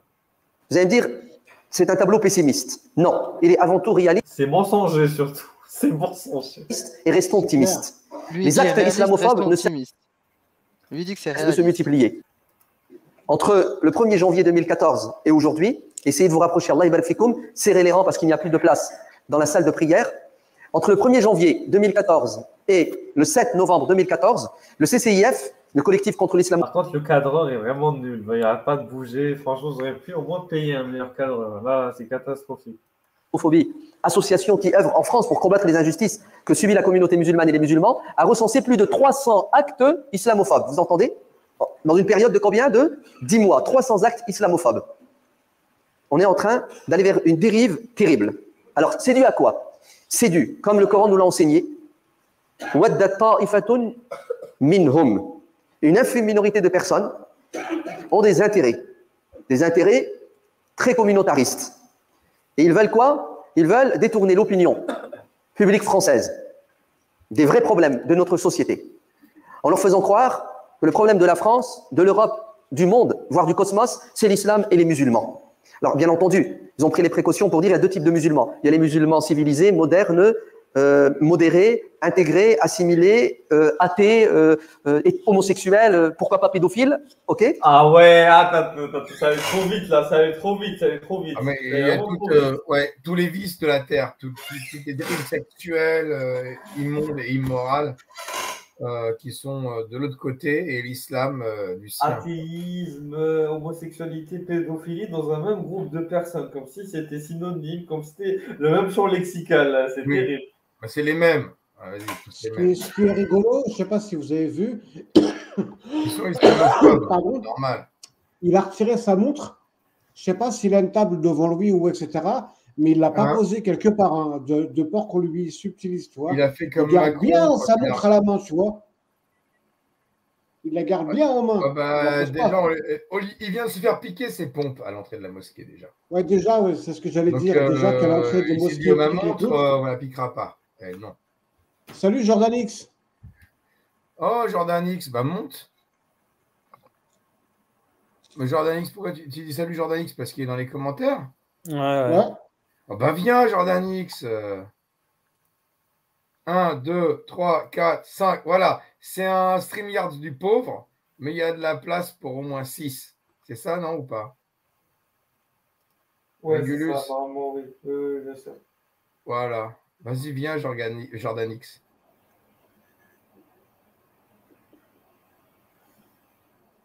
Vas-y, ouais, Je sinon- envoyé bien dans le chat. Allez, Jordan X, tu viens, tu viens, tu viens. Ça fera plaisir. Et en plus, ça fera des. Ça, ça promouvra le, la chaîne, l'excellente chaîne de collectif Ex-Muse. Parce que, voilà, Régulus et Ruyen, depuis le temps, ils font des lives d'une excellente qualité et énormément de technique. C'est la chaîne la plus technique euh, de YouTube, quand même. Et ça fera un peu de pub à ta chaîne aussi parce qu'on sait que tu en as, Ouais, besoin. en plus de ça, tu as besoin de pub, tu sais, Jordan X. On voit que tu galères. On et tout. On Ouais, euh, si on peut s'entraider, tu vois. Nous aussi, on l'a connu au début, tu vois, quand, quand on Ouais, nous, au début, on avait du mal, tu sais. On, on faisait comme toi. est des- hyper grand, euh, si on peut t'aider, hein, euh, Ouais, c'est Jordan voilà. T'as capté quoi. Ouais, vas-y, n'hésite pas à monter. Hein. Bah voilà, Bon. sinon on va continuer. Hein. Et puis, vous avez les musulmans, soucieux d'être fidèles à leur éthique religieuse, à leur spiritualité mais soucieux aussi de vivre en paix dans leur pays, la France, dans le respect des lois, et bien entendu, ce type de musulman est mardoub alayhim. Il est quoi? Il est dans le collimateur. Collimateur d'un groupe de personnes qui ont des intérêts très communautaristes. Vous allez me dire, mais qui sont ces gens-là? Ben, C'est tout simple. Ce sont des personnes qui ont des intérêts communautaristes. Ce sont des politiciens, ce sont peut-être des économistes. Je ne sais pas, je ne suis pas détective Ah, privé. Abouhijra. Tout ce que je sais, c'est que le traitement de l'islam et de la communauté musulmane aujourd'hui est injuste. Abou Hijra, Oui. Ainsi, J'aime bien dit, qui sont ces gens communautaristes qui ont des intérêts? Ben, Ce sont des gens communautaristes qui ont des intérêts. Genre, Eh, vous pas faire pensez pas plus, qu'il euh, parle des juifs quand même Bah, on va pas lui Ah, je crois prêter. qu'il On va parlait pas des, lui- des frères musulmans, moi. Non, mais attends, attends quand même. Le gars, il dit, il, dit qu'il y a, il y a un complot contre l'islam par un groupe de gens qui fait partie de l'élite, mais qui est très communautariste. Bah, je sais pas moi. Euh, J'en vois pas 100 000, quoi, des groupes auxquels on Ah, peut penser. peut-être il parle des francs-maçons, tu sais pas. En plus, il sait met l'accent là-dessus, tu vois, sur très très commu- communautariste. Qui c'est Ah, je peux pas dire. On sait pas, je peux, on sait pas. On- dans, dans son on sait pas, on entend plus euh, je peux pas dire que. Le- pas. T'es sûr que c'est pas le lobby auvergnat, les accordéonistes euh, auvergnats, euh, joueurs de bourré? T'es sûr que c'est pas d'eux dont il parle Je sais pas? Salut Jordan X, ça va? Salut Jordan. Salut. Ça va, ça va, ouais. Je pense beaucoup à vous en ce moment, les gars. Ah oui? Ouais, je suis en train de terminer une vidéo sur euh, islam et culture. là. Ah super, mon frère Mike. Bon. Oh là là. Oh, Harry Mike. Eh, Ah, j'ai hâte de l'avoir. Ah, mais c'est un, bon- c'est un sucre d'orge. Il est trop gentil. Il est trop gentil. Après, euh, si tu veux, tu peux parler d'IQSEN aussi. C'est un, sacré phénomène. Tu nous enverras lien pour qu'on fasse de la pub. Pense quoi? C'est quoi? Tu nous enverras le lien pour te faire de la pub si on peut Oui, ouais, on ta- elle, ouais, on elle est finie là, elle est, elle est terminée, mais je vais la sortir au mois de mai, tranquille, il y a le temps. Ah, ok, ça marche. Ah, une petite exclusivité, c'est possible ou pas euh Ouais, bah si tu veux, je t'envoie le lien euh, en privé dès, dès que je l'ai mis sur YouTube. Je la mettrai peut-être demain, il n'y a pas de souci si tu veux vraiment. Ah bah ouais, je veux Tu- carrément. bah si tu veux, tu m'envoies un mail et puis je t'enverrai le lien en privé. Yes, ça marche, merci. euh, Hmm. Merci. Alors, avant d'enchaîner, euh, je ne sais pas qui sera là début mai. Peut-être le. Enfin, non. Dimanche 30. euh, alors, ce sera sur ma chaîne. On fera un gros live YouTube sur euh, le blasphème. Le- L'enjeu, le, le- vraiment le, le côté. euh, la bataille stratégique number one de, la guerre que nous livre l'islam, c'est à mon avis, c'est le blasphème. Il y a le voile et le blasphème qui se, but- qui se disputent la première place. Il y aura un live là-dessus. Il y aura peut-être hein, euh, l'apostat, il y aura peut-être euh, des, des- des gens qu'on connaît très, vraiment très bien qui seront présents. J'espère que Régulus euh, et Ruyen, vous serez là. Euh, Soleil Apostasie aussi. Et ça va- j'ai fait une grosse préparation, ça va être un gros space. Je dis ça parce que pour dire à Jordan X, tu seras le bienvenu. hein. Ouais, bah écoute, je- dimanche, je sais pas encore si je suis dispo, mais Dimanche soir, voilà, il y aura tout le monde, Merkava, Soleiman, euh, la l'apostat Kafir ici présent. J'espère que et Ruyen. Il y aura peut-être vraiment des gens beaucoup plus connus que nous d'ailleurs qui interviendront. Je ne veux pas dire les noms parce qu'ils n'ont pas confirmé encore, mais il y a des chances qu'ils viennent quand même. Concernés par, euh, au niveau de la politique contre le blasphème hein, national. Voilà. Après, c'était une parenthèse, hein, je suis désolé, hein, j'ai fait ma propre pub. Euh, J'hésite pas. De toute façon, moi, je suis un chien de la casse. Bah, je fais ma pub partout. hein. Pas de souci. On continue. euh. Allez, on continue.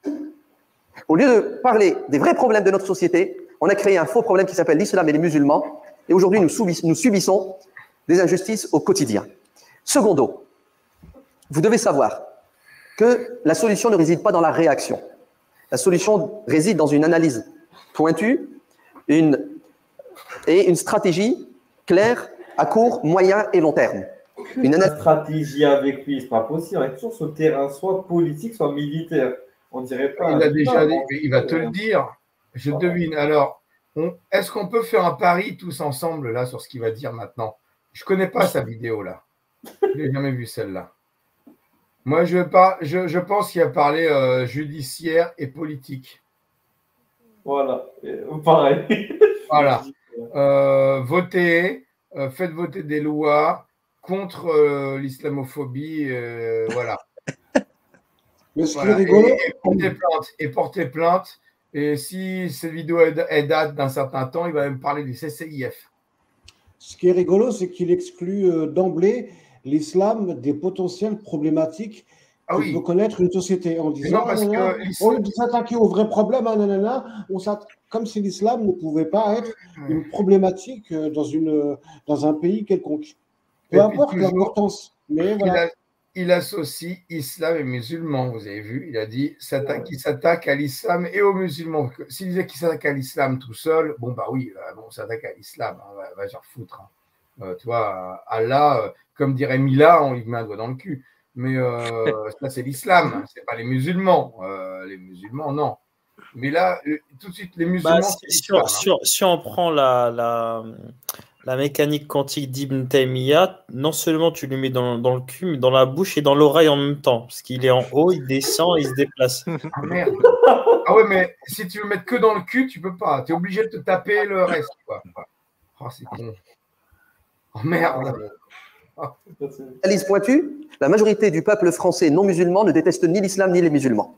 Ne vous trompez pas. Ne tombez pas dans un égarement manifeste qui est de généraliser, de mettre tout le monde dans le même sac. C'est pas vrai. Si c'était le cas, je ne serais pas là et vous ne serez pas là aujourd'hui. Ah, Secondo.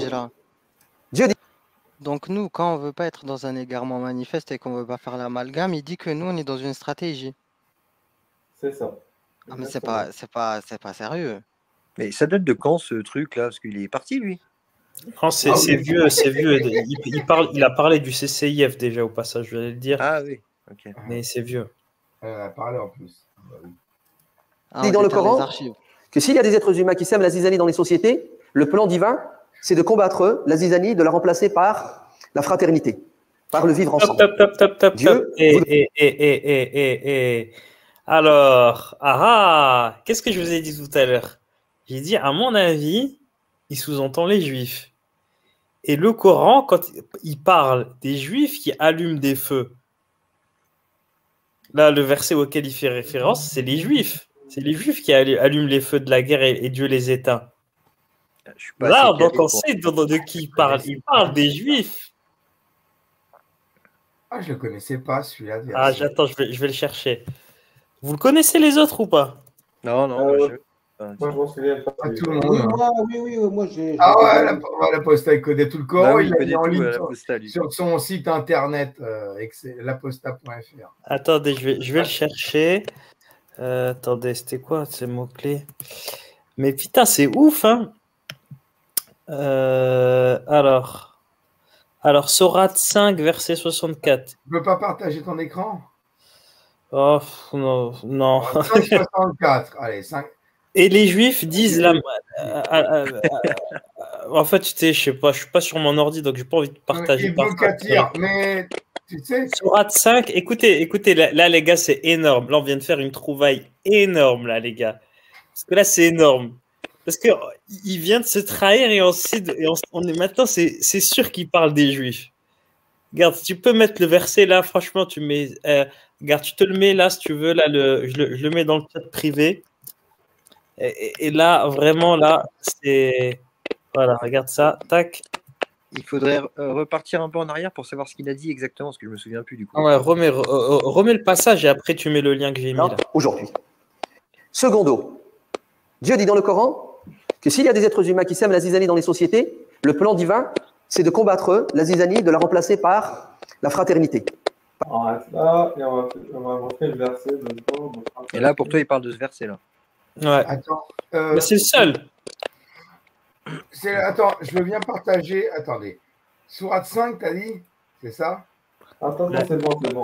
C'est bon, c'est bon. Non, parce que j'étais sur le site de l'aposta, Kafir, aposta.fr, justement. Vas-y, Il y a même le tafsir avec. vas-y, vas-y. Alors, On fait le tafsir. là, là je t'ai mis le lien euh, Régulus, si tu peux le mettre. Ouais, mais, mais t'as Bébert qui veut partager. Ah, Attends, mais vas-y, ça vas-y. dépend. Non, non, mais j'ai pas reçu le tafsir. Attends. comment Vas-y, vas-y, euh, le père. Ouais, mais je suis pas sur la tafsir. Désolé. Euh, Sourate 5, verset. Combien? Euh, 65 64, 64. 64. 34. Attends, on est où? Partage d'écran. Euh, non, non, non. Le Coran français. Partager. Voilà. Sourate 64. Vous l'avez ou pas? Vous le voyez ou pas? Euh, Ouais, attends. Et les. Attends, je peux l'augmenter peut-être. Attends. Ouais, vas-y.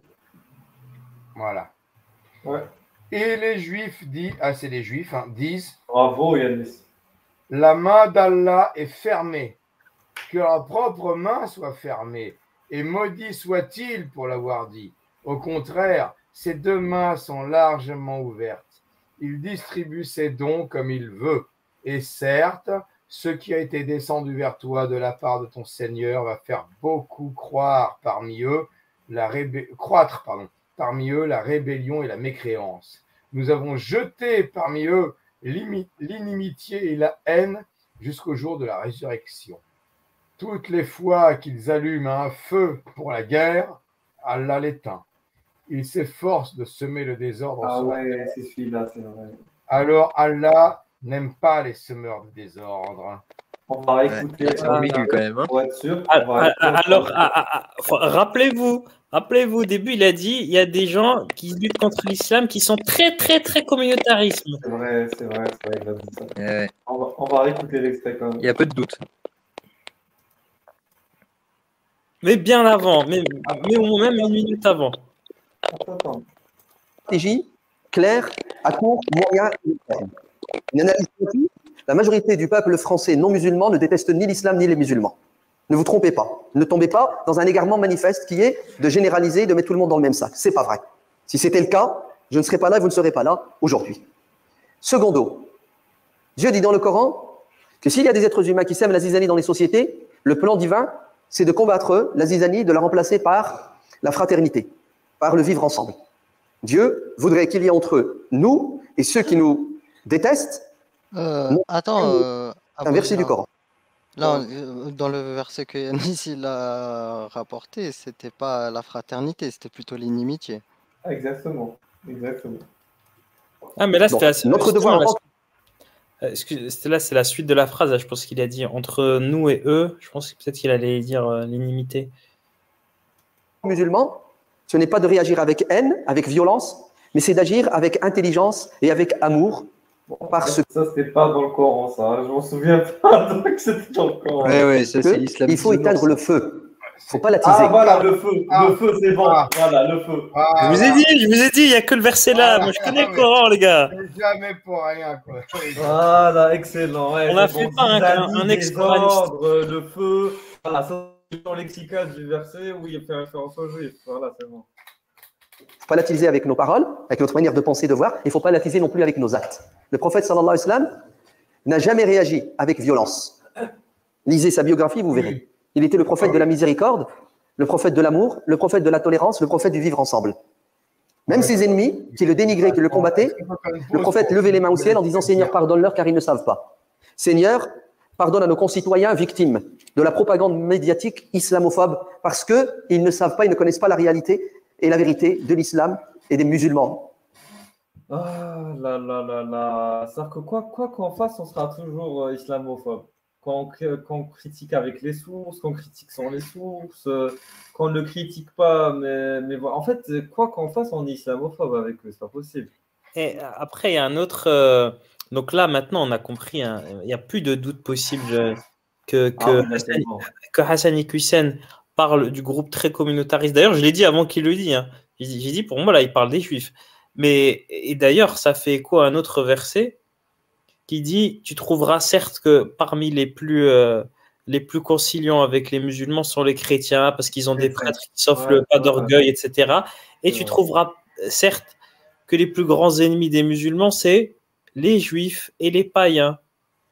Et, et donc euh, là, euh, on a la preuve que Hassan Hussein, encore, c'est- une vidéo certes ancienne, mais relativement récente. Hein, c'est pas début des années 2000 comme euh, ce qui a été sorti contre lui au niveau des juifs. hein. Ça, ça datait vraiment d'il y a 20 ans. Mais ça, ça date pas d'il y a 20 ans. hein. Tu vois la qualité de l'image, etc. Euh, À la calvitie, ça se mesure à sa calvitie aussi. Ouais, Tu peux mettre l'année d'ailleurs. Je sais pas, c'est c'est quoi l'année de cette vidéo? Euh, attends, c'était il y a 8 ans, 8 ans. 2014. C'était en Hmm. 2014. Voilà. Donc euh, là, il pense, que- et là, il, il est en train de nous expliquer qu'en fait, les Eh, juifs En euh, 2014, sont les vous leaders de l'islamophobie.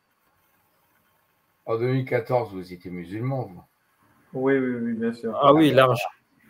Eh, c'est vrai, ça c'est marrant quand même. En 2014, Pourquoi ici, vous on était, on était- alors on était tous les trois musulmans. Ah, en 2014, on regardait cette vidéo, on dit Ah, Hassan, il a raison, Ouais, c'est vrai. de on nous attaque, euh, on est oppressé. Bonne euh. soirée, Jordan X. Euh, Ouais, même, moi, j'étais pas, même moi, j'étais pas mus- bonne soirée. Même moi, j'étais pas musulman. J'aurais regardé cette vidéo en 2014. J'aurais dit, ouais, il a trop raison. Bah oui, on était tous derrière Hassan à cette époque-là. Attends, tu crois quoi? Mais, mais c'est dingue, t'as vu, il- à chaque fois je me rends compte d'une chose avec les discours de Hassan Hussein, c'est qu'il faut les analyser à la loupe pour comprendre le sous-discours. Tu vois, il faut vraiment être très technique, il faut se mettre à 5 pour comprendre ce qu'il veut vraiment dire, tu vois. Faire Ah un oui, travail non, Hassan, non, Hassan, c'est pas charades. n'importe qui qui peut là. C'est là, il des faut rappeler les charades. experts. Nous, on va le décortiquer, il n'y a pas de souci. Ah, des versets, bien sûr. Tu vois, mec, s'il était dans l'honnêteté intellectuelle, il va te dire, oui, dans le Coran, il va te dire le, le verset en arabe, il va te dire euh, sourate, je sais pas quoi, le vers. Il va tout te détailler. Ah oui, Mais là, il t'a dit, oui, dans le. Coran, Dieu, il dit qu'il y a des gens, il y a des gens. Les humains, il a dit. les humains, quand ils complotent, Allah, il déjoue leur, il éteint leur feu. Et nous, on est obligé d'aller chercher des mots-clés et on trouve le verset, tu vois, mais c'est pas sérieux. Et tu vois, il laisse le doute. Après, peut-être, il va te dire non, mais c'était pas ce verset. Mais dis-nous directement c'est quel verset, tu vois?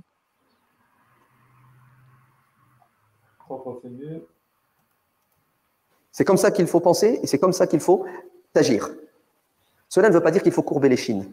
Il faut combattre l'injustice, mais la combattre avec justice et justesse. Nous sommes dans un pays de droit et de loi. Nous avons des droits, à nous de les faire valoir en utilisant les lois qui sont des lois qui ne font pas de différence entre les citoyens. Les lois sont les mêmes pour les musulmans et les non-musulmans, les riches et les pauvres. Nous n'avons pas en France une justice à double vitesse, comme c'est le cas dans beaucoup de pays pseudo-musulmans. Nous avons une justice. Et si vous n'avez pas les moyens de vous défendre, l'État attends, pris pour que vous puissiez vous défendre. Ainsi, il Ah est de notre devoir de combattre l'islamophobie, de la combattre intellectuellement, de la combattre spirituellement et de la combattre Allô? avec les règles du droit. C'est Ouais, pour ah, En fait, le fait de trop arrêter. Je... voilà. Ouais, désolé, mais il a dit quelque chose de. Désolé, mais il a dit quelque chose de très très grave. Il a dit en France, il n'y a pas une justice à deux vitesses. Donc déjà, il le reconnaît. Contrairement aux pays arabes. Mais dans les pays arabes, même s'ils n'adoptent pas euh, totalement la charia, la charia, c'est une vitesse, c'est une, c'est une justice à deux vitesses, mec. Donc tu vois, je sais pas, en fait, euh, dans son dribble, il- tu vois, au niveau du coufre, c'est pas très très sérieux, tu vois.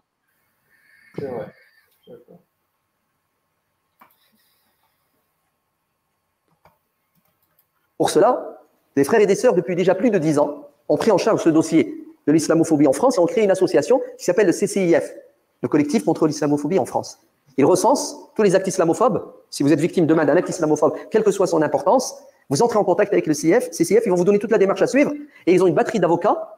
Pourquoi? Pour pouvoir vous défendre et agir comme il se doit. Et croyez-moi qu'ils sont efficaces, Les gars, mais ils le seront encore plus si nous les soutenons. Si nous les soutenons politiquement, faisant de l'appui pour le CCIF, en parlant de lui, et si nous les soutenons financièrement, car ils n'ont Oui. Est-ce que vous, comme il y en a qui disent que, comme Hassan, il dit malgré nous, on est allahiste. Quoi que tu veux, euh, on est allahiste. Et si nous, on va au CCF, on se plaint de islamophobie envers nous, les Hazamites, hein, que nous, on ne sait pas, est-ce que vous pensez que le CCF, il va nous protéger, il va, il va, il va plaider gain de cause? Bah oui, bien sûr. Bah oui, attends. Bah, je sais pas, peut-être, on va, on va peut-être les solliciter. Non, mais c'est le CCIF, c'était qui? Parce que euh, moi, je me suis trompé l'autre fois en disant que c'était euh, Idriss euh, Sihamdi, mais c'est pas lui. Lui, c'était Baraka Non, c'est Marwan, euh, je sais pas quoi, là. Ah, Marwan El Mohamed, là? Nouran Mohamed. Oh là là, lui. Ah non, non. Alors la réponse est non. hein. Non, non, tu crèves. hein. C'est lui qui a Ah fait bah, chanter euh, ah bah, Akbar euh, devant le Bataclan pendant la manif là, de- contre l'islamophobie. Ah ouais, non, mais lui. Ma- manif auquel j'ai participé en tant que Mais musulman. non, mais non. Oh, non. magnifique, Non, Yannick Oh. Mais arrête, eh, on a tous. La- eh, moi, la cinquième colonne est parmi nous. En 2017. hein. Ah, d'accord, donc ça va. Non, non, Yanis, euh, c'est normal que tu aies participé, c'est très bien. Tu avais raison. C'est bien, c'est très bien. Ton paradigme. Bah oui. Il ne faut pas s'en vouloir. Attendez. euh, Ça va. Non. Au contraire, ça veut dire vraiment que tu étais engagé. On ne pourra pas t'en prendre. Voilà. Bah oui. Bah, Ouais, c'est clair. n'ont toujours pas de subvention, mais croyez-moi que ça va bientôt arriver, parce qu'il y a des gens juste dans ce pays qui en ont marre, comme nous musulmans, nous en avons marre de cette chape de plomb sur l'islam et la communauté musulmane. Donc, combattons l'injustice, combattons l'islamophobie de manière intelligente, à court, moyen et long terme. Attends, tu peux revenir, je sais pas moi, 30 secondes, euh, 40 secondes en arrière. dans ce pays qui en ont marre, comme nous musulmans, nous en avons marre Non, avant. de cette chape de plomb Avant. sur l'islam et la communauté musulmane. On Nous peut défendre et agir comme il se doit. Et croyez-moi qu'ils sont efficaces, mais ils le seront encore plus si nous les soutenons. Si nous les soutenons politiquement, faisant de l'appui pour le CCIF, en parlant de lui, et si nous les soutenons financièrement, car ils n'ont toujours pas de subvention, mais croyez-moi que ça va bientôt arriver, parce qu'il y a des gens juste dans ce pays qui en ont marre, comme nous musulmans, nous en avons marre de cette chape de plomb sur l'islam et la communauté musulmane. Donc, combattons l'injustice, combattons l'islamophobie de manière intelligente, à court, moyen et long terme. On ne résoudra pas tous les problèmes aujourd'hui, parce que ça demande beaucoup plus d'efforts que l'effort d'un groupe de frères et de sœurs qui ont créé une association et qui se battent matin, midi et soir. L'effort doit incomber à chacun parmi nous, tous les jours. Voilà, je vous- j'entends des bruits. Vous voulez dire quoi? Ouais, je t'ai fait revenir en arrière pour rien du tout, en fait. Euh, J'ai cru qu'il y a- des non-juifs comme nous, des non-musulmans. Alors qu'il a dit des non-juifs, par contre, il y a le non, je l'ai entendu. hein. Mais il n'a pas dit des Non, je crois qu'il a dit les gens justes. Il a dit les gens justes, Non, euh, juste, ouais. Ah, punaise. Et il pense tellement aux juifs que moi, j'entends juif quand il parle. Désolé tout le monde. J'ai fait perdre de votre temps à, à- à vous, aux intervenants, aux auditeurs, aux gens du chat. Je suis pas... Ouais, désolé, pardon, excusez-moi. Et si on prend conscience que nous, à titre individuel, nous sommes capables de changer les choses, les choses changeront. Pas de fuite en avant. Il faut assumer sa responsabilité en tant que citoyen. Et une des solutions les plus efficaces, c'est la solution politique. Vous entendez? Les journalistes ne sont que... Bon, je vais être gentil avec le monde journalistique, sinon les foudres de Zeus vont s'abattre sur moi. Donc, les journalistes ne sont que les porte-paroles ouais, des politiques. Certes, certains ont encore une conscience professionnelle et sont libres, mais croyez-moi que beaucoup d'entre eux n'ont pas tellement le choix, tellement ils subissent la pression et ils craignent pour leur situation. Et ils sont les porte-paroles des politiques. Alors, intégrez-vous, chers musulmans. Arrêtez de vivre comme des nomades. Vous n'êtes pas de passage. Vous êtes musulmans et français et soyez fiers de l'être parce que vous pouvez Ah oui, vivre votre islam en France tout en combattant les injustices. Par contre, ce qui est marrant, c'est que tu vois, il va utiliser cette euh, vidéo pour dire euh, oui, mais regardez, j'ai dit aux musulmans de s'intégrer euh, en France. Mais nous, quand on a, on a analysé en filigrane, ouais, c'est pas, c'est pas de l'intégration là qu'il propose. Ah oui, là, pas du tout. Pas du tout. Donc moi, je comprends pas. Tu vois, c'est ça le problème, c'est que il y avait beaucoup de gens au moment de l'affaire Ekusen qui disaient oui, mais Hassan, vous le persécutez pour rien. Ben non, venez dans les lives, on va vous montrer des analyses hein, de ces de ces différents lives où il dit que l'islam l'appelle la tolérance. Nous, quand on creuse, au mieux, ces sources, je sais pas, il les a inventées. Au pire, je sais pas, il, commence à dribbler. Là, c'est pas sérieux, tu vois? Exactement. On continue. Que vous subissez qui vous empêche de vous épanouir encore plus dans la pratique de votre religion. Mais combattez la- l'injustice et l'islamophobie avec intelligence. Entrez en contact avec vos députés qui vous représentent et qui doivent vous défendre. Faites pression sur les hommes politiques pour qu'ils votent une loi. Une loi contre l'islamophobie comme une loi a été votée contre l'homophobie. Contre une loi a été votée contre la judéophobie. Ah, Comme toutes les lois en Voilà. France. il y avait encore des lois contre l'islamophobie. Donc là, c'est un djihad. Je suis désolé, faire voter des lois, c'est une forme de djihad. C'est une manière d'instaurer la charia. Voilà, la loi d'Allah en France. Pour s'en voter cette loi, on donne plus la place à l'islam politique. Voilà, c'est loi après loi, étape après étape, victoire après victoire. Petit à petit, l'islam va gagner non seulement le cœur des, des mécréants, mais aussi euh, leur constitution, apparemment. Vas-y. sont Bon, en plus, pour euh, défendre les En, en- en- en plus, euh, il utilise euh, pour le coup un terme d'antisémite, tu vois, parce que c'est. Il n'y a pas de loi contre la judéophobie qui existe, en fait. hein. C'est la loi contre l'antisémitisme. C'est pas pareil, la judéophobie l'antisémitisme. C'est la même chose que être anti-musulman et, et anti-islam, tu vois. C'est pas pareil. la loi française, elle parle pas de judéophobie, elle parle d'antisémitisme. C'est vrai. C'est la haine du juif, c'est pas la haine. Tu as le droit d'avoir la haine de, la religion juive, judaïsme. Mais là, il, se trompe, là, il joue sur les mots. Et d'ailleurs, euh, moi, je me souviens de. de bah, judéophobie, c'est vraiment un terme qui est utilisé par les, les chantres euh, de, de, de, euh, qui parlent d'islamophobie dans leur discours. C'est-à-dire, ils disent bah voilà, pourquoi on peut être, euh, ju- ju- en- on peut être islamophobe et pas judéophobe? C'est vrai.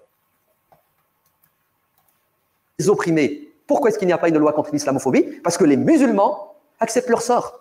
Ils sont presque fatalistes. Quand tu leur dis de bouger, ils te disent Inch'Allah. Ce qui revient à dire laisse-moi tranquille. Et quand, il leur dit, quand tu leur dis on va régler le problème à court, moyen, long terme, ils sont pressés. Ils veulent que les autres règlent leurs problèmes le jour même. Non. Soyez optimistes et soyez réalistes. Prenez-vous en charge et assumez votre responsabilité. Nous devons tous être des avocats de la bonne cause. À notre niveau là, Des avocats d'Allah. Nous tous êtes des avocats d'Allah à notre niveau. C'est ça que je dis. où nous sommes? Il y a des cantonales pour beaucoup d'entre nous bientôt. Et n'ayez crainte, la roue elle tourne, bientôt les présidentielles et législatives, et ainsi de suite. La roue elle tourne. En fait, je suis désolé. C'est un mélange entre apostat et musulman. hein. Et, euh, Ils parlent pas du tout comme un musulman. C'est pas possible. La roue elle Mm. tourne. Ouais, ce truc de païen. Suite, intégrez-vous dès à présent dans le tissu politique et associatif, et vous verrez que dans 10 ans, il n'y aura plus d'islamophobie en France de manière aussi vulgaire. Alors, Allah le CCIF est à votre service. Soutenez-le, aidez-le, et qu'Allah protège notre pays de toute dérive islamophobe ou autre, et qu'Allah fasse que nous puissions être encore plus épanouis dans la pratique de notre religion, et qu'Allah fasse que Allah protège notre pays mécréant. Ça, c'est n'importe quoi. C'est du bullshit. Ou bien il se croit en terre conquise, je sais pas. voir Ah, là, oui, là, oui. Là, c'est autre chose. nos concitoyens non musulmans découvrent l'islam sous son vrai visage parce que l'islam est beau et son objectif c'est de vivre dans la beauté et entouré de beauté. Que Dieu nous préserve de l'égarement. veut rien dire, la beauté. Met quoi derrière la beauté? Ça, La beauté, c'est le hijab, entouré de hijab, C'est ça, c'est ça. entouré de voiles et de rideaux. manifeste. Qu'Allah nous donne la sincérité dans nos actes et nos paroles. Qu'Allah protège nos enfants des diables humains et invisibles. Qu'Allah fasse miséricorde à nos parents et leur donne le paradis. Que Dieu nous donne la science et nous donne la force de la transmettre. Qu'Allah nous renforce en tant que musulmans pratiquants et guide nos frères et sœurs musulmans non pratiquants. Que Dieu soutienne nos frères et sœurs dans le monde musulman qui subissent l'injustice de leurs tyrans respectifs. Déjà, rien que le fait de dire musulman non pratiquant, déjà, tu sais où il est. C'est du mourdisme, voilà. Direct, c'est on rentre dans le mourdisme. Musulman non pratiquant, normalement, ça n'existe pas dans plein d'autres sectes islamiques. On Non, mais tu vois, attends, attends, attends, attends. Abou Hijra, il y, en a un qui se déclare euh, musulman non pratiquant, c'est Bouba. Donc là, Hassan Ah Hussein, il est en train de demander la guidance pour Bouba. Bien sûr. Mais Pourquoi écoute, pas? même- Après, pourquoi pas, écoute. Il a même dit pour tous les Français. Ah, oui.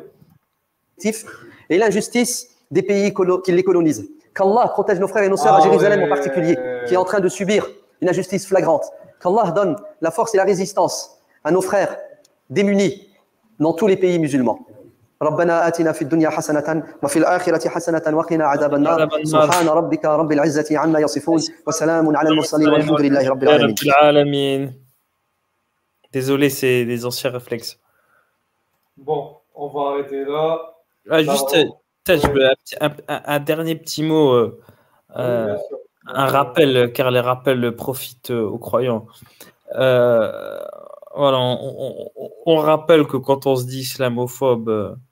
on, parle de la haine de la religion et pas des gens.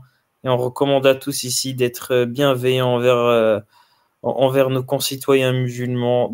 Absolument, on, on condamne toute violence, euh, que ce soit même un regard de travers. euh, Bien souvent, ce sont des gens manipulés et, et,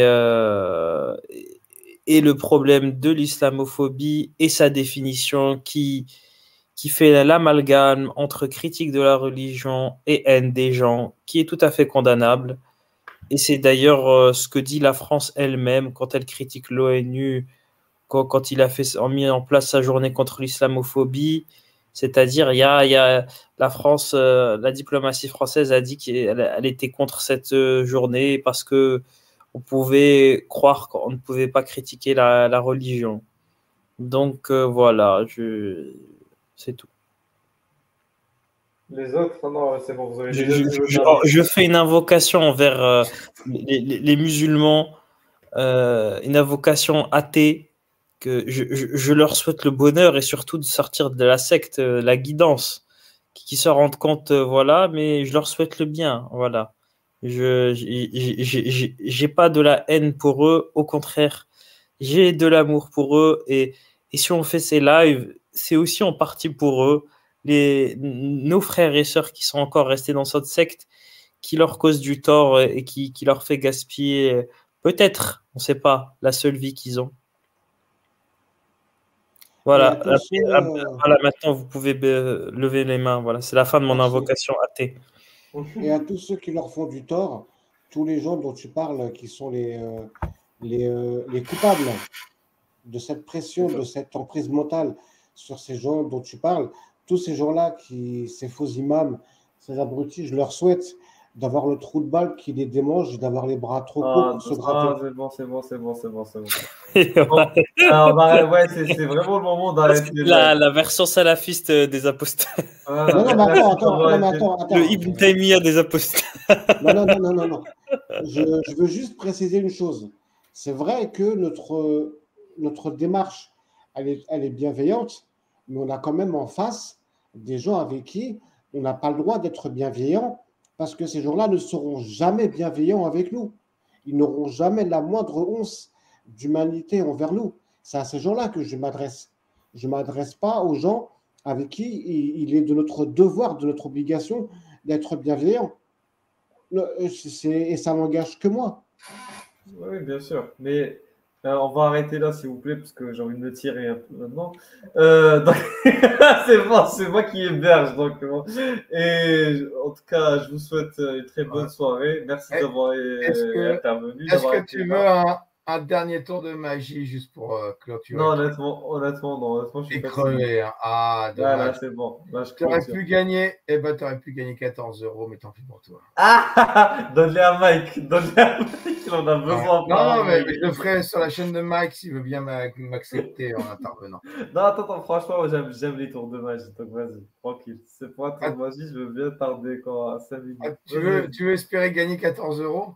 Non, non, non, merci. Je veux pas. Tu Donc on dit bonne soirée et tant pis pour le tour de magie, tu n'auras pas, tes- t'auras pas tes 14 Bah. euros. Bah, bah, tu peux les donner à Ruyen, euh, si tu veux. Ah non, mais attends, tu veux fermer ou que quelqu'un gagne 14 euros?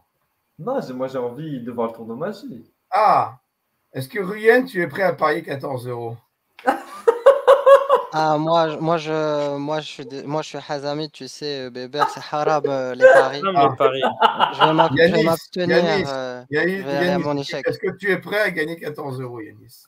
Ah, moi, tu sais, c'est c'est haram les paris. Moi, c'est pareil, je me range Eh du ben, coup. bah, moi, il vas-y, faut quelqu'un qui parie avec moi, moi, hein. moi, je suis prêt, moi je suis prêt. Euh, L'aposta, attends alors. L'aposta,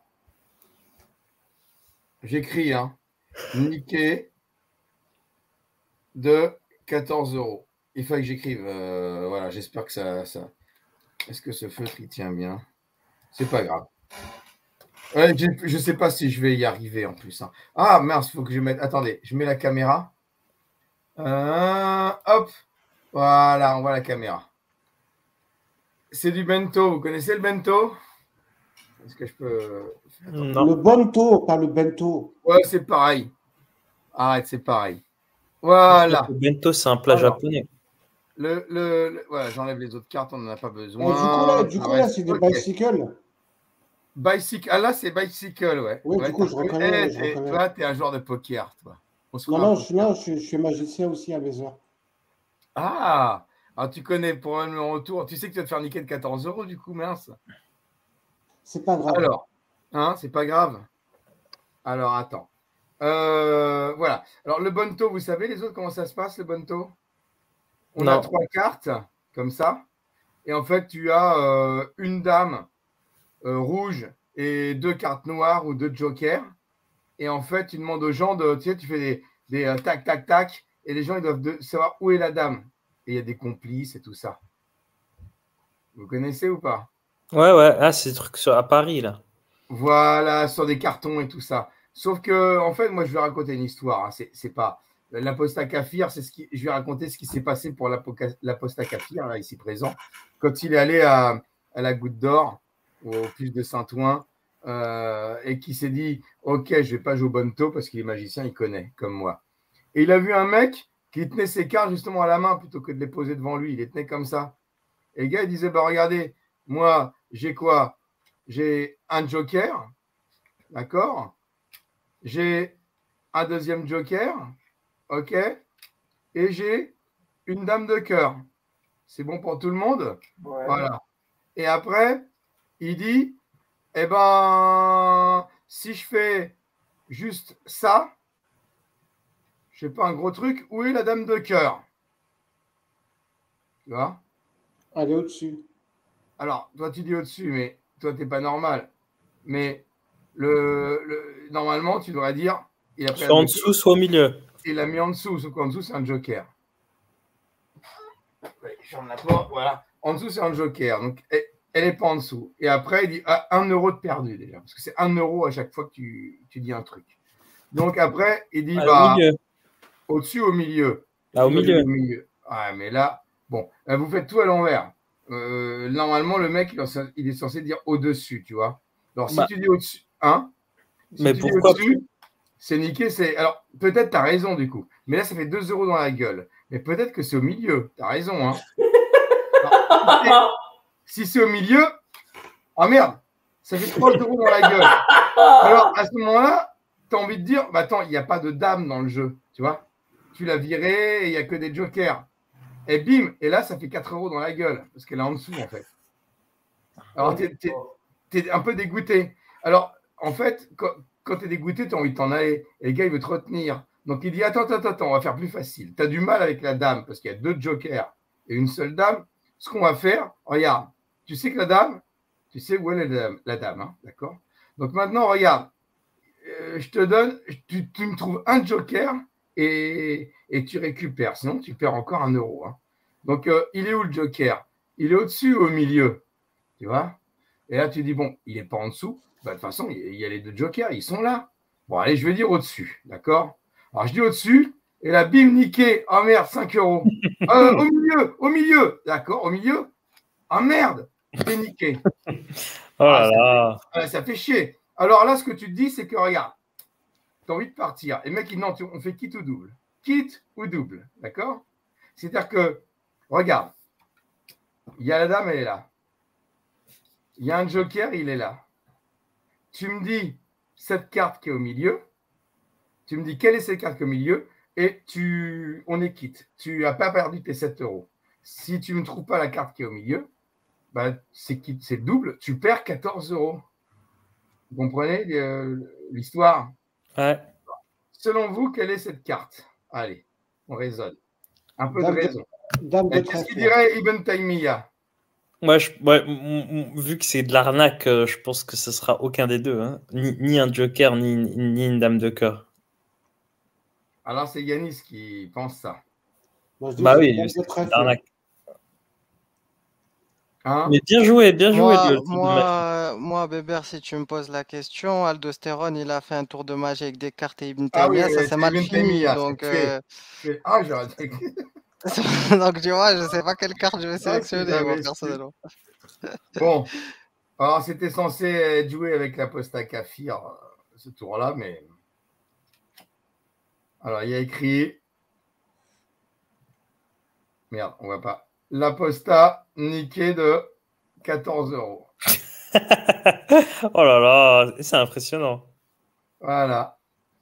Bon, je te ferai un. Je te ferai un, un virement. Euh, non, tu vas sur ma cagnotte euh, Tipeee. On fait la pub de ma cagnotte Tipeee. Attends, euh, je suis à 5 euros ce mois-ci, ça va pas. J'ai acheté un ordinateur tout neuf. Ah, le bâtard, il a eu 5 euros. un kebab. Et moi aussi, hein je veux mon kebab. oui, un kebab. Ah, c'est vrai. Ouais, s'il vous plaît, les gars, euh, donnez, faites des dons à Bébert. Euh, là, moi des dons parce que. Il doit, nourrir une famille, lui. Eh ouais, moi j'ai des gosses, hein, et des petits maghrébins en plus. Hein. que j'ai vu que vraiment dans la discipline du couf. Eh, franchement, Bébert, déjà l'islam, c'est caca, vous savez. Hein.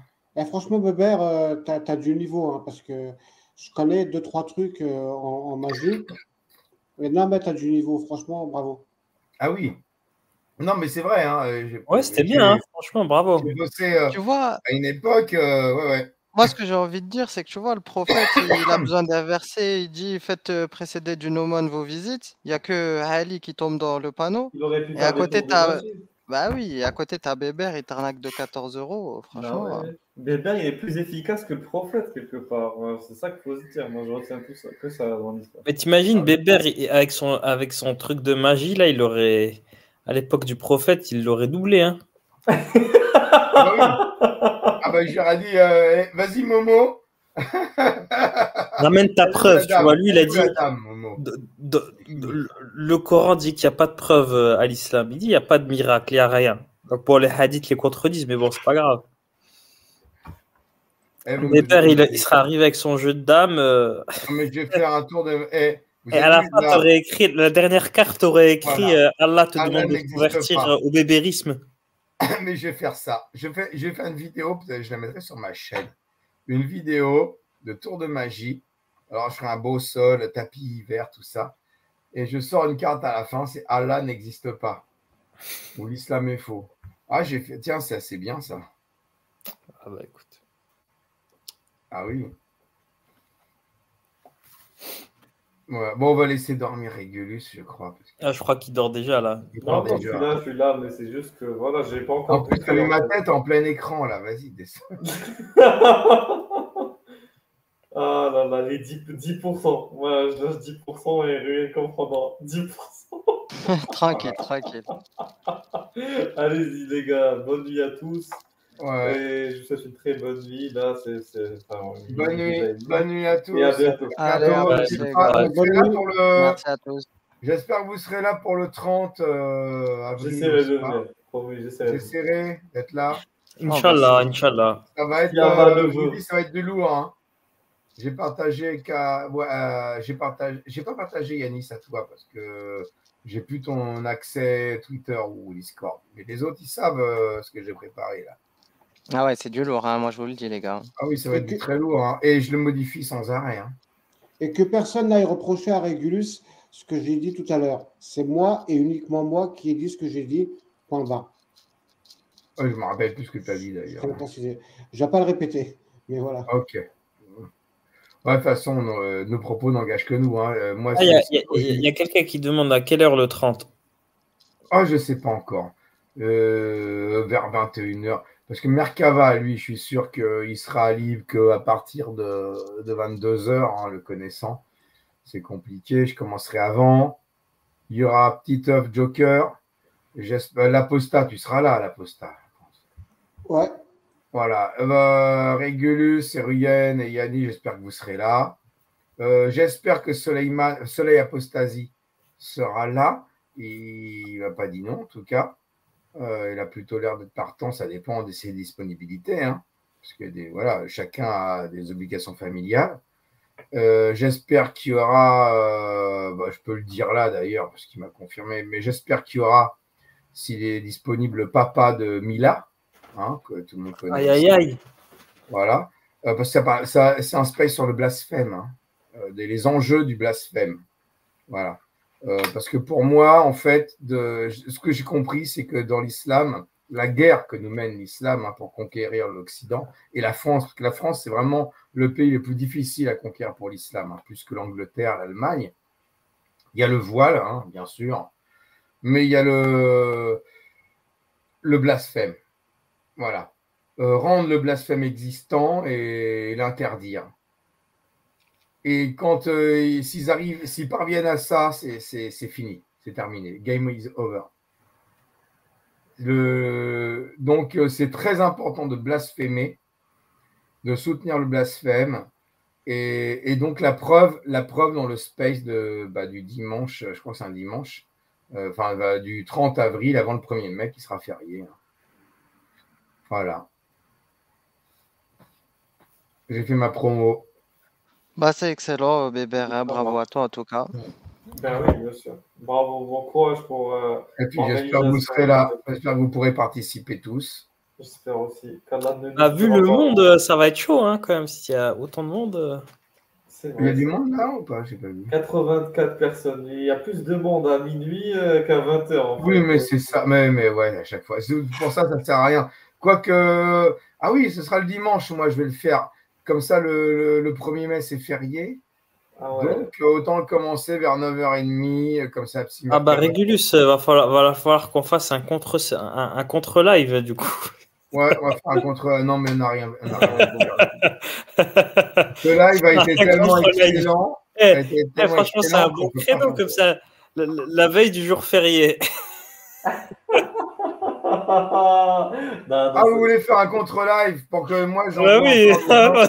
Ah oui Ah, mais tu, dis, tu déconnes parce que toi, tu étais sur mon live ce, ce soir-là. Ah, gars, les Et gars, Ah, moi, je suis un électron libre. Et il y en a qui ont pris ça au premier degré et ont dit stop, Ouais. Régulus, c'est rien. Mais pourquoi vous divisez la Mouma du coup et tout? Ah, punaise. Les gars, les gars, stop, sérieux. on va, on va s'embarquer jusqu'à 3h du mat si on continue. Donc, je dois stopper ici. Ah ouais, allez, bonne nuit. Bonne. La nourriture, c'est sacré. Donc, bonne nuit à tous. Au revoir. Bisous. Bonne nuit. Ciao.